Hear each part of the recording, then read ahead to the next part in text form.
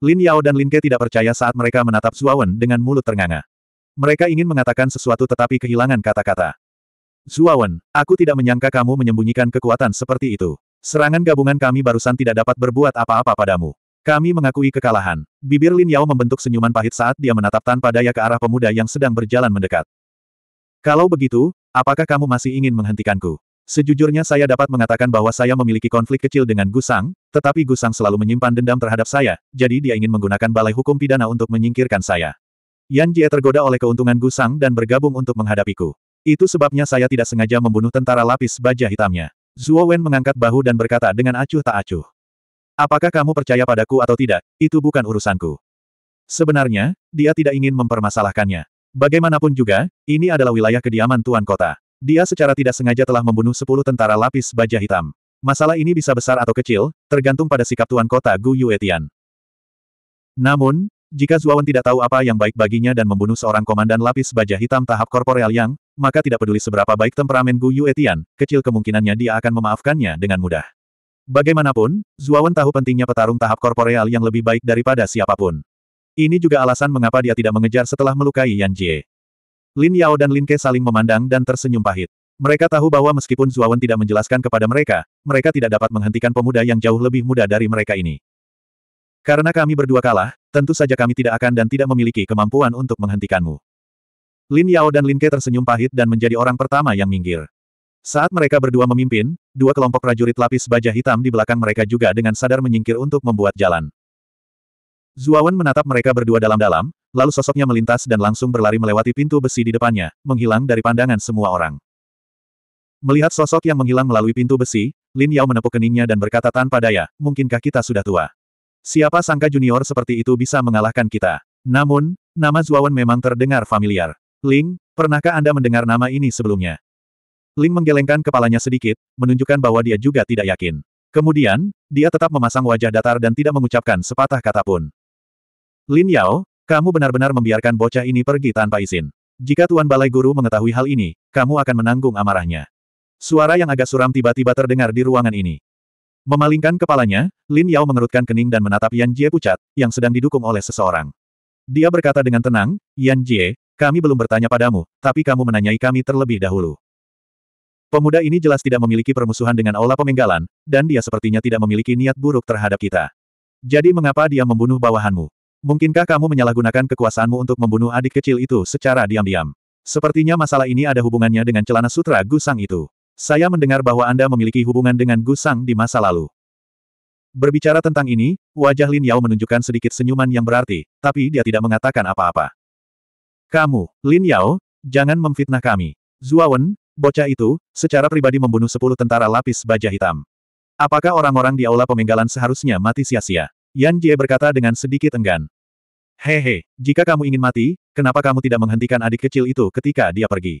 Sekarang dia sudah pergi, kamu menanyaiku. Biar ku beritahu padamu, adik kecil ini mampu mematahkan serangan gabunganku dan Ling dalam satu gerakan, jadi dia punya kemampuan untuk membunuh kami bertiga. Dia sudah berbelas kasihan sekarang. Lin Yao menyilangkan tangan di depan dadanya. Dia merasa sedikit tidak nyaman dengan pertanyaan Yan Jie, jadi dia menjawab dengan dingin. Tuanku, Zuawan ini kemungkinan besar adalah Zuawan dari keluarga Zuo, yang baru-baru ini menyebabkan kegemparan di Ratan Armor City. Saya mendengar bahwa anak laki-laki ini membuat namanya terkenal dalam pertarungan pasar beberapa hari yang lalu. Dia tidak hanya berhasil menantang pertempuran kebangkitan, tetapi dia juga seorang diri membunuh seorang pejuang keluarga Wang yang baru saja memasuki alam korporeal yang. Pada saat ini, seorang prajurit lapis baja hitam di belakang Lin Yao dengan hormat datang ke sisinya dan berbicara dengan ekspresi serius. Jadi orang itu. Aku juga pernah mendengar sedikit tentang dia. Jika adik laki-laki itu benar-benar Zuawan yang dirumorkan, kemungkinan besar dia datang ke rumah gubernur kota atas undangan gubernur kota. Bagaimanapun, Zuawan ini memang seorang jenius yang langka. Bahkan gubernur kota tidak dapat mengabaikan fakta bahwa dia dapat membunuh seseorang dari alam korporeal yang saat berada di alam kekosongan Yin. Untungnya, saya cukup bijaksana untuk tidak berselisih dengannya. Kalau tidak, konsekuensinya tidak terbayangkan. Aku hanya tidak tahu kenapa dia tiba-tiba masuk ke aula pemenggalan. Lin Yao berpikir sejenak dan bergumam pada dirinya sendiri dengan ekspresi bingung. Meskipun kata-katanya tidak keras, semua orang yang hadir dapat mendengar apa yang dia katakan. Selain terkejut dan bingung, mereka tidak merasakan apa pun. Hanya ekspresi Yan Jie yang berubah drastis. Dia tidak menyangka Zuawan ini memiliki latar belakang yang begitu kuat. Ia juga tidak mengetahui bahwa dirinya adalah tamu yang diundang secara pribadi oleh gubernur kota. Saat ini, dia sudah mengutuk Gusang di dalam hatinya. Dia tidak menyangka Gusang tidak akan memberitahunya apa pun tentang Zuawan. Ini sudah berakhir. Bibir Yan Jie sedikit bergetar saat dia berbisik pada dirinya sendiri. Dia tahu bahwa seseorang yang bisa diundang secara pribadi oleh Gu Yuetian berarti posisi orang ini di hati Gu Yuetian pasti tidak rendah. Di sebuah ruangan antik, dua sosok tinggi dan tegap berdiri dengan tenang di tengah. Gambar jelas melayang di depan kedua sosok tersebut, dan gambar tersebut memperlihatkan pemandangan di setiap sudut balai hukum pidana. Tuan Gu, tampaknya matamu tetap tajam seperti biasanya. Zuawan, si kecil ini, memiliki bakat yang menakutkan. Dia sebenarnya mampu mengalahkan tiga prajurit alam yang dengan budidaya alam kekosongan Yin. Karakternya sangat ulet, seperti batu. Selama dia terus berkembang, masa depannya tidak akan terbatas. Seorang lelaki tua berambut putih berjubah biru tua dengan wajah keriput tersenyum sambil memandang ke arah lelaki paruh baya tampan berjubah ungu. Pria berjubah ungu itu adalah Gu Yuetian, yang datang dari ruang belajar Aula Pemenggalan. Saat ini, dia memiliki senyuman di wajahnya dan berkata, awalnya saya khawatir si kecil ini akan berada dalam situasi yang buruk setelah memasuki Aula Pemenggalan. Sekarang sepertinya aku terlalu khawatir. Namun, si kecil ini berpikiran jernih. Setelah membunuh sepuluh prajurit lapis baja hitam, dia tidak membunuh orang lain. Jika dia membunuh seniman bela diri tingkat komandan lapis baja hitam, aku khawatir kamu tidak akan duduk bersamaku dengan tenang. Suara magnetis Gu Yuetian membawa sedikit ejekan. Orang tua berjubah biru yang berdiri di samping Gu Yuetian adalah ketua aula pemenggalan kepala, Xing Yusen. Meskipun dia terlihat baik, emosinya lebih meledak-ledak dibandingkan orang lain. Dia adalah tipe orang yang akan memulai pertengkaran jika ada perbedaan pendapat sekecil apa pun. Itu benar, si kecil ini sangat pintar. Namun, masalah ini sepertinya muncul karena Gusang. Saya tidak tahu apa yang akan dilakukan Tuan Gu. Lagi pula, lelaki kecil ini sepertinya adalah keponakanmu. Xing Yusen berkata sambil tersenyum ramah. Huh, saya tidak menyangka Gusang berani memalsukan pesanan saya dan diam-diam menjebak Zuawan. Sepertinya keponakanku semakin meremehkanku. Kali ini, meskipun Gulai maju ke depan, aku tidak akan memberinya muka. Kata Gu Yuetian dengan wajah muram. Gusang memang berpikiran sempit. Namun, sebagai keponakanmu, tidak baik bagimu untuk membunuhnya. Mengapa Anda tidak memindahkan Gusang ke tempat terpencil dan membiarkan dia mengambil posisi di sana? Dengan begitu, Anda tidak akan terganggu dengan apa yang tidak Anda lihat. Xing Yusen berkata dengan acuh tak acuh. Saya memiliki pemikiran yang sama. Gusang mengandalkan nama ayahnya untuk menjadi tidak terkendali dan sombong. Sudah waktunya memberitahu dia siapa yang bertanggung jawab atas istana Tuan Kota. Jangan bicara tentang dia. Kita harus pergi dan menyambut Zuawan. Saya merasa memberinya tempat di Menara Origin Ki adalah keputusan yang sangat bijaksana. Gu Yuetian tertawa terbahak-bahak saat dia melangkah maju dan menghilang dari ruangan. Mungkin, kota utama Ratan Armor City kami sudah lama tidak memperoleh peringkat yang baik. Saya berharap si kecil ini benar-benar dapat membawa kejayaan bagi kota utama kita. Xing Yusen menggelengkan kepalanya dan tertawa. Dia juga mengambil langkah maju dan menghilang dari kamar. Di koridor, sesosok tubuh yang kuat muncul seperti hantu. Kecepatannya sangat cepat sehingga sulit ditangkap dengan mata telanjang. Xiao Hei, tidakkah Anda merasa koridor tiba-tiba menjadi lebih sepi? Logikanya, setelah saya membuat keributan di Balai Hukum Pidana, mereka seharusnya meningkatkan keamanannya. Mengapa begitu kosong? Menyadari suasana tenang di koridor, Zuawan mengerutkan kening dan berkomunikasi dengan Xiao Hei dalam pikirannya. Aku juga merasa ini aneh. Menurut penyelidikan Raja Naga ini, sepertinya tidak ada orang di sekitar. Lupakan saja, Anda tidak perlu terlalu banyak berpikir. Mari kita bicara setelah kita keluar. Suara Xiao Hei juga terdengar dengan sedikit keraguan. Mengangguk, Zuawan tidak mengatakan apa-apa lagi dan fokus untuk bergegas. Tak lama kemudian, pintu masuk aula hukum pidana muncul di hadapannya. Kegembiraan muncul di wajah Zuo Wen saat langkah kakinya semakin cepat lagi. Dalam beberapa sekejap, dia muncul di luar pintu. Cahaya putih yang menyilaukan menyebabkan dia tanpa sadar menyipitkan matanya. Setelah beradaptasi beberapa saat, dia perlahan membuka matanya. Melihat sekeliling, dia terkejut menemukan bahwa pintu masuk aula hukum pidana kosong. Kedua penjaga yang pernah berada di sana sebelumnya tidak terlihat. Namun, dua sosok di depannya menarik perhatiannya. Saat dia melihat pria berpakaian ungu berdiri di depan, dia terkejut. Kemudian, dia dengan cepat berjalan ke arah pria berpakaian ungu dan menangkupkan tangannya dengan hormat. Zuo Wen memberi salam kepada Tuan Kota. Saya tidak ada niat masuk balai hukum pidana. Jangan khawatir, aku tahu. Berdirilah di sisiku untuk saat ini. Saya akan memberi Anda penjelasan nanti, kata Gu Yuetian sambil tersenyum tipis sambil menepuk bahu Zuawan. Zuawan terkejut dan menatap Gu Yuetian lagi. Dia tahu bahwa Gu Yuetian mungkin sudah tahu apa yang terjadi di aula hukum pidana. Kalau tidak, dia tidak akan bertindak seperti itu. Dia menangkupkan tangannya lagi dan menatap lelaki tua berbaju biru yang berdiri di belakang Gu Yuetian. Zuawan berdiri di samping dalam diam. Dia bisa merasakan apakah itu Gu Yuetian atau lelaki tua berbaju biru, tekanan yang mereka berikan padanya seperti gunung Tai yang menekannya. Sulit baginya untuk bernapas. Jelas sekali bahwa budidaya mereka jauh di atas miliknya sehingga mereka dapat memberikan tekanan seperti itu. 102. Menara Yuan Qi. Dentang. Suara logam yang menghantam tanah tiba-tiba terdengar. Tangan dan kaki Gusang dibelenggu berat. Pakaiannya compang camping, rambutnya acak-acakan, dan wajahnya pucat serta tak berdaya. Orang yang menahan Gusang adalah Lin Yao dan Ling. Zuawan bahkan bisa melihat Yan Jie, yang memiliki ekspresi aneh di wajahnya, di belakang mereka berdua. Nyalimu semakin besar. Bagaimana kamu bisa memperlakukan aku seperti ini? Saya, Gusang, adalah putra Gulai. Jika ayahku melihat ini, meskipun kamu berasal dari aula hukum dan hukuman, tidak ada yang bisa melindungimu. Meski sosok Gusang dalam keadaan menyedihkan dan ekspresinya putus asa, namun sikapnya tetap kasar dan sombong seperti sebelumnya. Lin Yao dan yang lainnya tidak memperhatikan Gusang yang berisik. Sebaliknya, mereka diam-diam membawa Gusang ke depan. Ketika mereka tiba di depan Gu Yuetian, mereka dengan hormat membungkuk kepada Gu Yuetian dan tetua berpakaian biru dan berkata, Tuan Kota, Tuan Balai, Gu Sang telah dibawa ke sini. Gu Yuetian mengangguk sedikit, tapi sebelum dia bisa mengatakan apa pun, Gu Sang sudah menyela, paman tertua. Orang-orang dari aula hukum dan hukuman ini menjadi semakin keterlaluan. Mereka sebenarnya berani menahan saya. Cepat suruh mereka melepaskanku dari belenggu ini. Mereka membuat seluruh tubuhku tidak nyaman. Gu Yuetian melirik Gu Sang, lalu mengangkat tangan kanannya. Di bawah tatapan semua orang, dia menamparkan Gusang dengan keras dan berkata dengan acuh tak acuh, bicaralah. Mengapa kamu memalsukan perintahku dan diam-diam membawa adik kecil Zuawan ke aula hukum dan hukuman? Tahukah kamu bahwa dia adalah tamu terhormat yang saya undang? Pipi kanan Gusang langsung membengkak, dan darah merah ceri mengalir dari sudut mulutnya. Saat ini, dia benar-benar tercengang. Ia tidak pernah menyangka kalau pamannya yang dulunya begitu lembut, justru akan menamparnya. Terlebih lagi, dia tidak menahan diri sama sekali. Dia bisa dengan jelas merasakan rasa sakit yang menyengat di pipi kanannya. Tamparan keras terdengar di seluruh area. Yang lain tidak memiliki ekspresi aneh di wajah mereka. Hanya Yan Jie, yang berdiri di belakang prajurit lapis baja hitam, yang gemetar ketakutan. Dia tidak pernah berpikir bahwa Gu Yuetian benar-benar akan menamparkan Gu Sang tanpa ampun. Mulut Yan Jie berkedut saat dia melihat lagi pemuda yang tampak tenang berdiri di samping Gu Yuetian. Senyuman pahit muncul di wajahnya. Dia tahu bahwa dia benar-benar telah menyinggung seseorang yang luar biasa kali ini. Bahkan penguasa kota Gu Yuetian telah memukuli keponakannya sendiri demi orang ini. Mudah untuk membayangkan betapa pentingnya Zuawan bagi Gu Yuetian.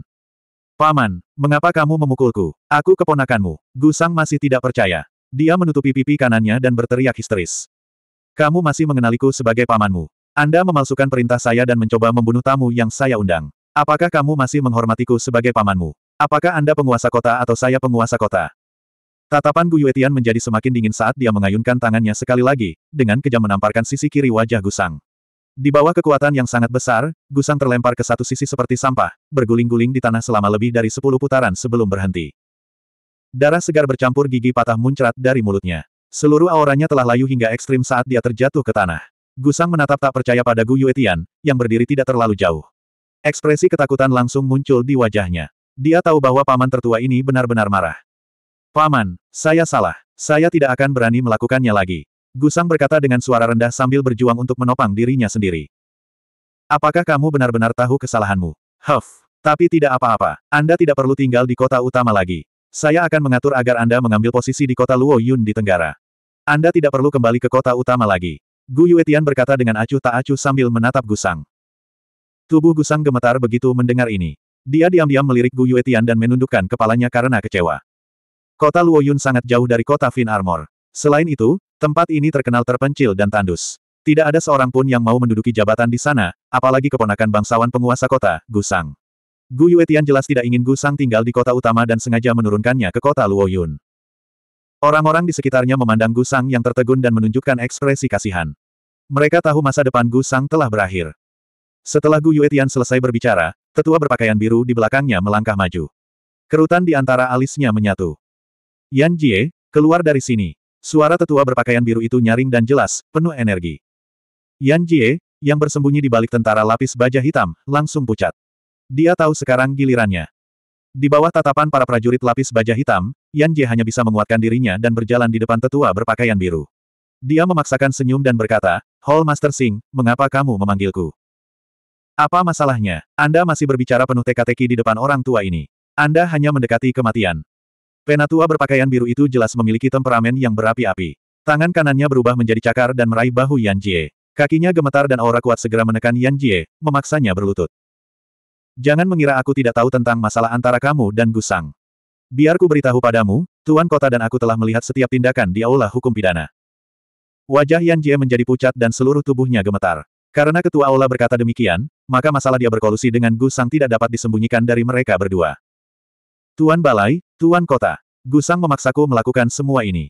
Itu tidak ada hubungannya denganku. Saya mohon Anda mengampuni hidup saya. Saya juga berkepala dingin. Saya tidak tahu bahwa Tuan Muda Zuawan adalah tamu terhormat yang diundang oleh Tuan Kota. Penatua berpakaian biru tiba-tiba mengangkat Yan Jie dan berjalan di depan Zuawan. Aura jahat di wajahnya segera berubah menjadi senyuman saat dia berkata, Adik Zuawan, aku serahkan orang ini padamu. Apakah kamu ingin membunuhnya atau mencincangnya, itu terserah kamu. Zuawan melirik Yan Jie yang gemetaran. Dia tahu bahwa tetua berpakaian biru dan Gu Yuetian hanya melakukan ini untuk memberinya penjelasan.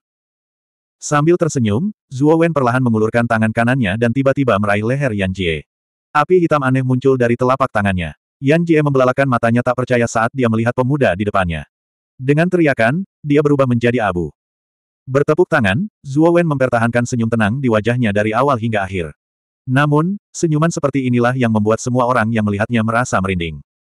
Ini hukumanku. Bagaimana pendapat kalian berdua? Suara acu tak acu perlahan menyebar, menyebabkan wajah semua orang berkedut tanpa sadar. Terutama Lin Yao, Gusang dan yang lainnya. Seolah-olah ini pertama kalinya mereka bertemu dengan pemuda di depan mereka. Mereka tidak menyangka pemuda ini akan membunuh tanpa ragu-ragu. Penatua berpakaian biru juga tercengang. Segera setelah itu, dia tertawa dan berkata, Adik Zuawan, metodemu memang menentukan. Lumayan. Gu Yuetian juga mengangguk. Dengan ekspresi lembut, dia berkata, Zuawan, inilah penjelasan yang ingin saya berikan kepada Anda. Apakah Anda puas? Saya sangat puas. Terima kasih Tuan Kota atas bantuan Anda. Zuawan menangkupkan tangannya dan berkata dengan hormat. Dia tidak berani meremehkan ahli nomor satu di Ratan Armor City. Ayo pergi. Anda juga tahu alasan mengapa saya mengundang Anda ke sini kali ini. Masalah menara energi Yuan melibatkan banyak hal. Datanglah ke ruang kerja saya dan saya akan memberitahu Anda secara detail tentang menara energi Yuan. Gu Yuetian melambaikan lengan bajunya. Tanpa menunggu jawaban Zuawan, gelombang kekuatan Yuan membawa Zuawan dan tetua berpakaian biru dan menghilang dari tempatnya, meninggalkan Gu Sang yang tak berjiwa. Tidak lama kemudian, sosok tegap tiba di depan Gu Sang. Sosok itu perlahan berjongkok dan membantunya berdiri. Ayah, Anda harus membuat keputusan untuk saya. Saya tidak ingin pergi ke kota Luoyun. Saya ingin tinggal di Ratan Armor City. Gusang memandang pria parubaya kekar di depannya dan benar-benar menangis. Sosok itu adalah Gulai. Saat ini, dia menatap Gusang dengan ekspresi rumit. Dia menghela nafas dan berkata, kali ini, ayah tidak bisa mengambil keputusan untukmu. Kakak benar-benar marah. Dia tidak membunuhmu karena kamu adalah keponakannya. Huh, mungkin melawan Zuawan saat itu benar-benar sebuah kesalahan. Di ruang belajar antik, Gu Yuetian duduk di meja dengan senyuman di wajahnya. Penatua berpakaian biru dan Zuawan duduk di samping. Selain mereka bertiga, ada juga sosok cantik berdiri di samping Gu Yuetian. Itu adalah Gu Yue yang cantik. Pada saat ini, mata indah Gu Yue dipenuhi rasa ingin tahu saat dia mengamati pemuda tanpa ekspresi di kursi samping. Dia pernah mendengar bahwa pemuda di depannya baru saja membuat aula hukum pidana menjadi berantakan. Bahkan tiga praktisi korporeal yang tidak dapat melakukan apa pun padanya. Zuawan secara alami merasakan tatapan tajam Gu Yue. Meskipun diawasi oleh seorang wanita cantik bisa dianggap sebagai hal yang membahagiakan, lama-kelamaan, kulit Zuawan tidak tahan betapapun tebalnya kulit itu. Oleh karena itu, dia menutup mata terhadap tatapan Gu Yue. Adik laki-laki Zuawan seharusnya memiliki pemahaman tentang menara asal Qi. Gu Yuetian dengan ringan mengetuk meja dan bertanya sambil tersenyum. Saya mendengar kakek membicarakannya sebelumnya, tetapi tidak terlalu detail. Dikatakan bahwa Qi asal di dalam menara asal Qi ribuan kali lebih padat daripada dunia luar. Tingkat kultivasi seorang praktisi di dalam pada dasarnya dua kali lebih cepat dengan setengah usahanya. Dapat dikatakan sebagai surganya para praktisi. Zuawan berkata dengan tenang. Seperti yang kakekmu katakan, ki asal di dalam menara ki asal ribuan kali lebih padat daripada dunia luar. Selain itu, ada banyak reruntuhan di dalamnya. Reruntuhan ini berisi metode budidaya yang berharga, harta spiritual, ramuan spiritual, dan sebagainya. Jika seorang praktisi cukup beruntung mendapatkan harta karun di dalamnya, budidaya mereka pasti akan maju pesat. Saya pernah melihat seorang praktisi keluar dari menara asal Ki dan memperoleh harta spiritual tingkat tinggi. Dengan harta spiritual ini, dia berani bertarung melawan praktisi alam kaisar tertinggi ketika dia baru berada di puncak alam Raja Zhao. Pada saat itu, itu merupakan sensasi yang luar biasa. Selain itu, setiap praktisi yang memasuki menara asal Ki, selama mereka keluar hidup-hidup, setidaknya berada di alam Raja Zhao. Beberapa bahkan telah mencapai alam kaisar tertinggi. Selain itu, syarat untuk memasuki menara asal Ki adalah berada di bawah alam Raja Zhao dan berusia di bawah 30 tahun. Praktisi hanya dapat tinggal di menara asal Ki selama lima tahun. Setelah lima tahun, mereka akan otomatis keluar. Saat Gu Yuetian berbicara sampai di sini, dia berhenti pada saat yang tepat, sambil melihat ke arah Zuowen. Zuowen juga sedikit terkejut. Menurut Gu Yuetian, seseorang hanya bisa tinggal di menara asal Qi selama lima tahun. Kemudian, praktisi di bawah alam Raja Zhao pada dasarnya dapat menerobos ke alam Raja Zhao. Poin ini saja sudah cukup untuk menunjukkan manfaat menara asal Qi.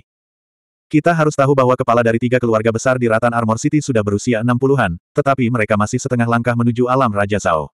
Dari titik ini, orang dapat melihat betapa sulitnya untuk menerobos ke alam Raja Zhao. 103. Pedang Rune Naga. Kekaisaran King Xuan sangat luas dan terbagi menjadi sembilan wilayah. Wilayah ibu kota kekaisaran, yang terletak di pusat kekaisaran, adalah pemimpinnya. Pakar kekaisaran nomor satu, Kaisar King, tinggal di ibu kota kekaisaran county dan memegang kekuasaan kekaisaran, dia adalah eksistensi tertinggi. Delapan kabupaten lainnya akan menghormati Imperial Capital County dan akan mengikuti jejak Imperial Capital County. Di seluruh Kekaisaran King Xuan, ada total sembilan menara asal Qi, yang terletak di ibu kota sembilan kabupaten. Ratan Armor City terletak di Kabupaten Mukin di Tenggara. Sedangkan untuk Ratan Armor City, hanya bisa dianggap sebagai kota tingkat rendah. Di Kabupaten Mukin, terdapat puluhan ribu kota tingkat rendah seperti Ratan Armor City. Yaitu kota tingkat menengah, kota tingkat tinggi, dan kota super yang kuat. Dapat dikatakan bahwa pertempuran menara asal Qi adalah pertarungan antara para jenius yang tak terhitung jumlahnya di Kabupaten Mukin. Pemenang terakhir adalah seorang jenius di antara para jenius dan akan menerima manfaat yang tak terhitung jumlahnya. Pada titik ini, ekspresi Gu Yuetian menjadi agak bersemangat. Jelas sekali bahkan dia tidak bisa tetap tenang menghadapi pertempuran menara ki asal. Setelah mendengar perkenalan Gu Yuetian, hati Zuawan juga melonjak kegirangan. Gubernur, mungkinkah pemenang terakhir pertempuran menara asal Ki akan dianugerahi gelar Markis? Haha, menganugerahkan gelar Markis tidaklah mudah. Pertempuran menara Origin Ki hanyalah kompetisi antar jenius di daerah ini. Setelah pertempuran menara asal Ki berakhir, setiap daerah akan memilih 100 jenius teratas untuk berpartisipasi dalam Perang Sembilan Negara. Perang Sembilan Negara adalah kunci untuk dianugerahi gelar Markis. Hanya para jenius yang mencapai akhir Perang Sembilan Negara yang akan dianugerahi gelar Markis oleh Kaisar King sendiri. Namun, Perang Sembilan Negara masih jauh dari kita. Kota Armor Rotan kami hanyalah kota tingkat rendah. Di antara puluhan ribu orang jenius di Kabupaten Mukin, akan sangat sulit bagi kita untuk masuk seratus besar. Namun, jika ada di antara Anda yang bisa masuk ribuan teratas, Markis akan memberi Anda hadiah dan kota armor rotan kami akan dipromosikan menjadi kota perantara. Gu Yuetian perlahan mendapatkan kembali ketenangannya dan menjelaskan kepada Zuawan dengan ekspresi lembut. Di sisi lain, Zuawan sedang melamun. Tampaknya menjadi seorang markis bukanlah sesuatu yang bisa dicapai dengan mudah. Dia tidak menyangka akan ada pertempuran sembilan negara selain pertempuran menara vitalitas. Zuawan tahu bahwa pertempuran sembilan negara adalah persaingan sesungguhnya antara para jenius. Lagi pula, para kontestan yang berpartisipasi dalam pertempuran sembilan negara adalah yang terbaik. Namun, menara Esenski penuh dengan bahaya. Banyak prajurit muda yang akan gugur dalam setiap pertempuran menara Esenski, jadi peluang ini memiliki risiko. Saya dapat mewakili istana tuan kota untuk memberi Anda tempat. Apakah Anda setuju? Pada titik ini, Gu Yuetian memandang dengan hati-hati ke arah pemuda di depannya, yang sedang tenggelam dalam pikirannya. Ada sedikit antisipasi di matanya. Entah kenapa, tapi dia merasa pemuda di depannya akan memberinya perasaan berbeda. Namun, kamu tidak perlu terburu-buru untuk menyetujuinya. Kuota yang ada di tanganku saat ini bukanlah kuota resmi, melainkan kuota pengganti. Bisa atau tidaknya kamu berpartisipasi dalam pertarungan menara vitalitas pada akhirnya akan bergantung padamu. Bukan kuota resmi. Zuawan penasaran dan bertanya dengan ragu. Meskipun kota armor rotan kita hanyalah kota tingkat rendah, wilayahnya tidak kecil. Ada banyak kota besar dan kecil yang berkumpul di sekitarnya. Selain kota besar dan kecil ini, beberapa pejuang juga telah membentuk banyak geng. Ini bukanlah kekuatan kecil, dan semuanya berada di bawah yurisdiksi Ratan Armor City. Ratan Armor City hanya punya empat kuota, tapi jumlah penduduknya banyak dan buburnya tidak cukup. Oleh karena itu, jika kota utama kita ingin mendapatkan kuota resmi, kita harus bersaing dengan kekuatan sekitar. Gu Yuetian tiba-tiba terdiam saat ini. Dia hanya memandang Zuawan dan menunggu jawabannya. Zuawan berpikir sejenak dan setuju. Bagaimanapun, pertempuran menara vitalitas adalah kesempatan langka, dan dia tidak mau menyerah. Bagus, Zuawan, kamu benar-benar tidak mengecewakanku. Persaingan untuk mendapatkan kuota akan ditetapkan dalam waktu setengah tahun. Pada saat itu, semua kekuatan di sekitar Ratan Armor City akan berpartisipasi dalam acara akbar ini. Meskipun Anda mendapat bantuan api iblis nirwana, kultivasi Anda terlalu lemah. Anda harus berlatih lebih banyak dalam setengah tahun ini. Saya menantikan penampilan Anda dalam setengah tahun.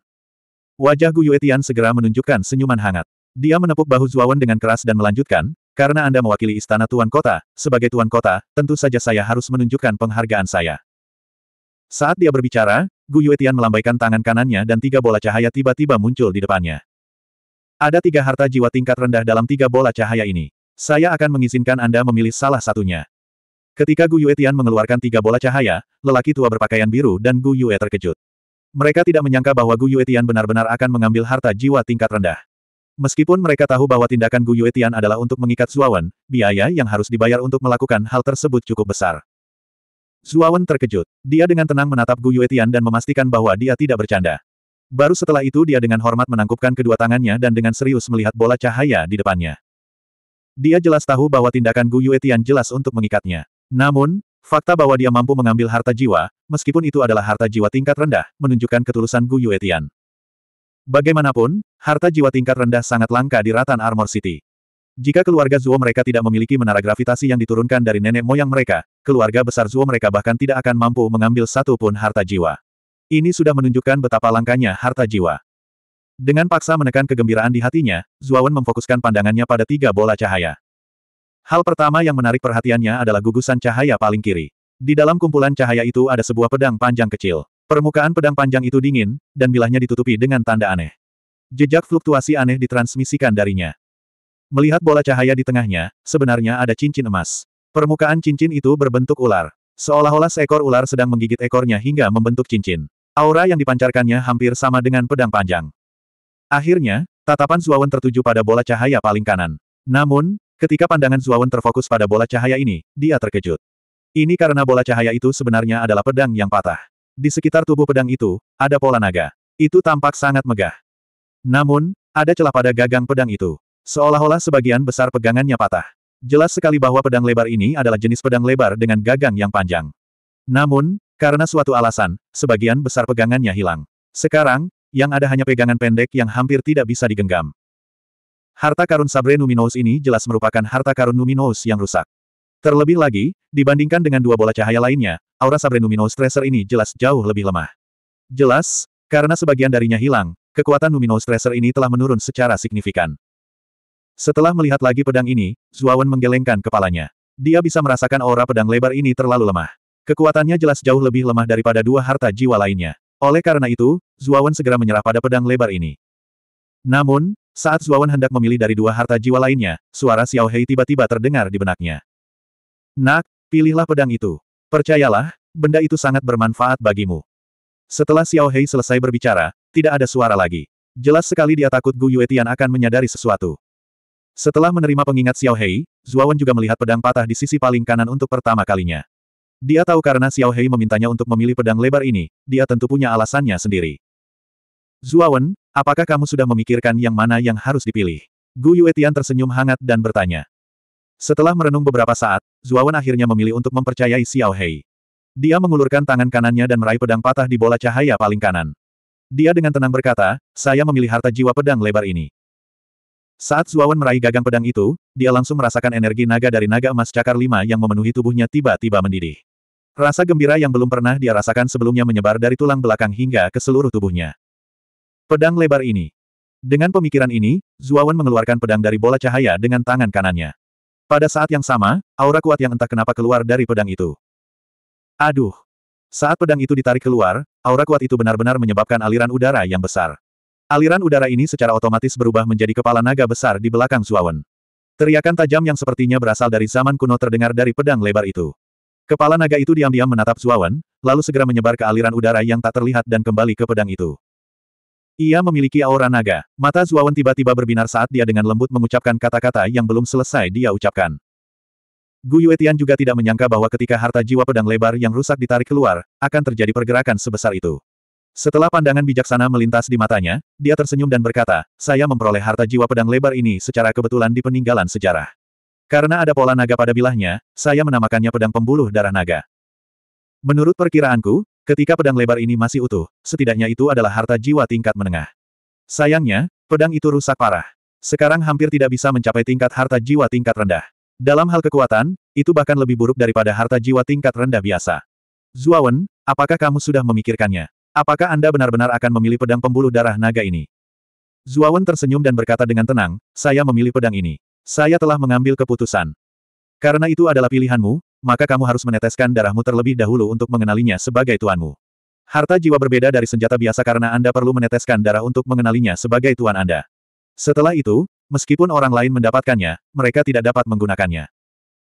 Gu Yuetian bisa merasakan tekad di mata Zuawan, jadi dia tidak mencoba membujuknya. Zuawan mengangguk dan langsung meneteskan esensi darahnya ke pedang itu. Setelah esensi darah memasuki pedang itu, Zuawan merasakan hubungan darah dengan pedang itu. Saat dia memegang pedang lebar tadi, Zuawan bisa merasakan bahwa pedang lebar ini tidak biasa. Meski rusak parah, dia yakin Xiao Hei pasti punya alasan sendiri membiarkan dia memilih pedang lebar ini. Setelah memilih harta jiwanya, Zuawan bertukar beberapa kata lagi dengan Gu Yuetian, lalu mengambil inisiatif untuk pergi. Melihat sosok Zuawan yang pergi, Gu Yuetian tiba-tiba berkata kepada Gu Yue, Yue Er, apa pendapatmu tentang Zuawan? Gu Yue tertegun, lalu sudut mulutnya membentuk senyuman tipis, orang ini sebenarnya tidak buruk.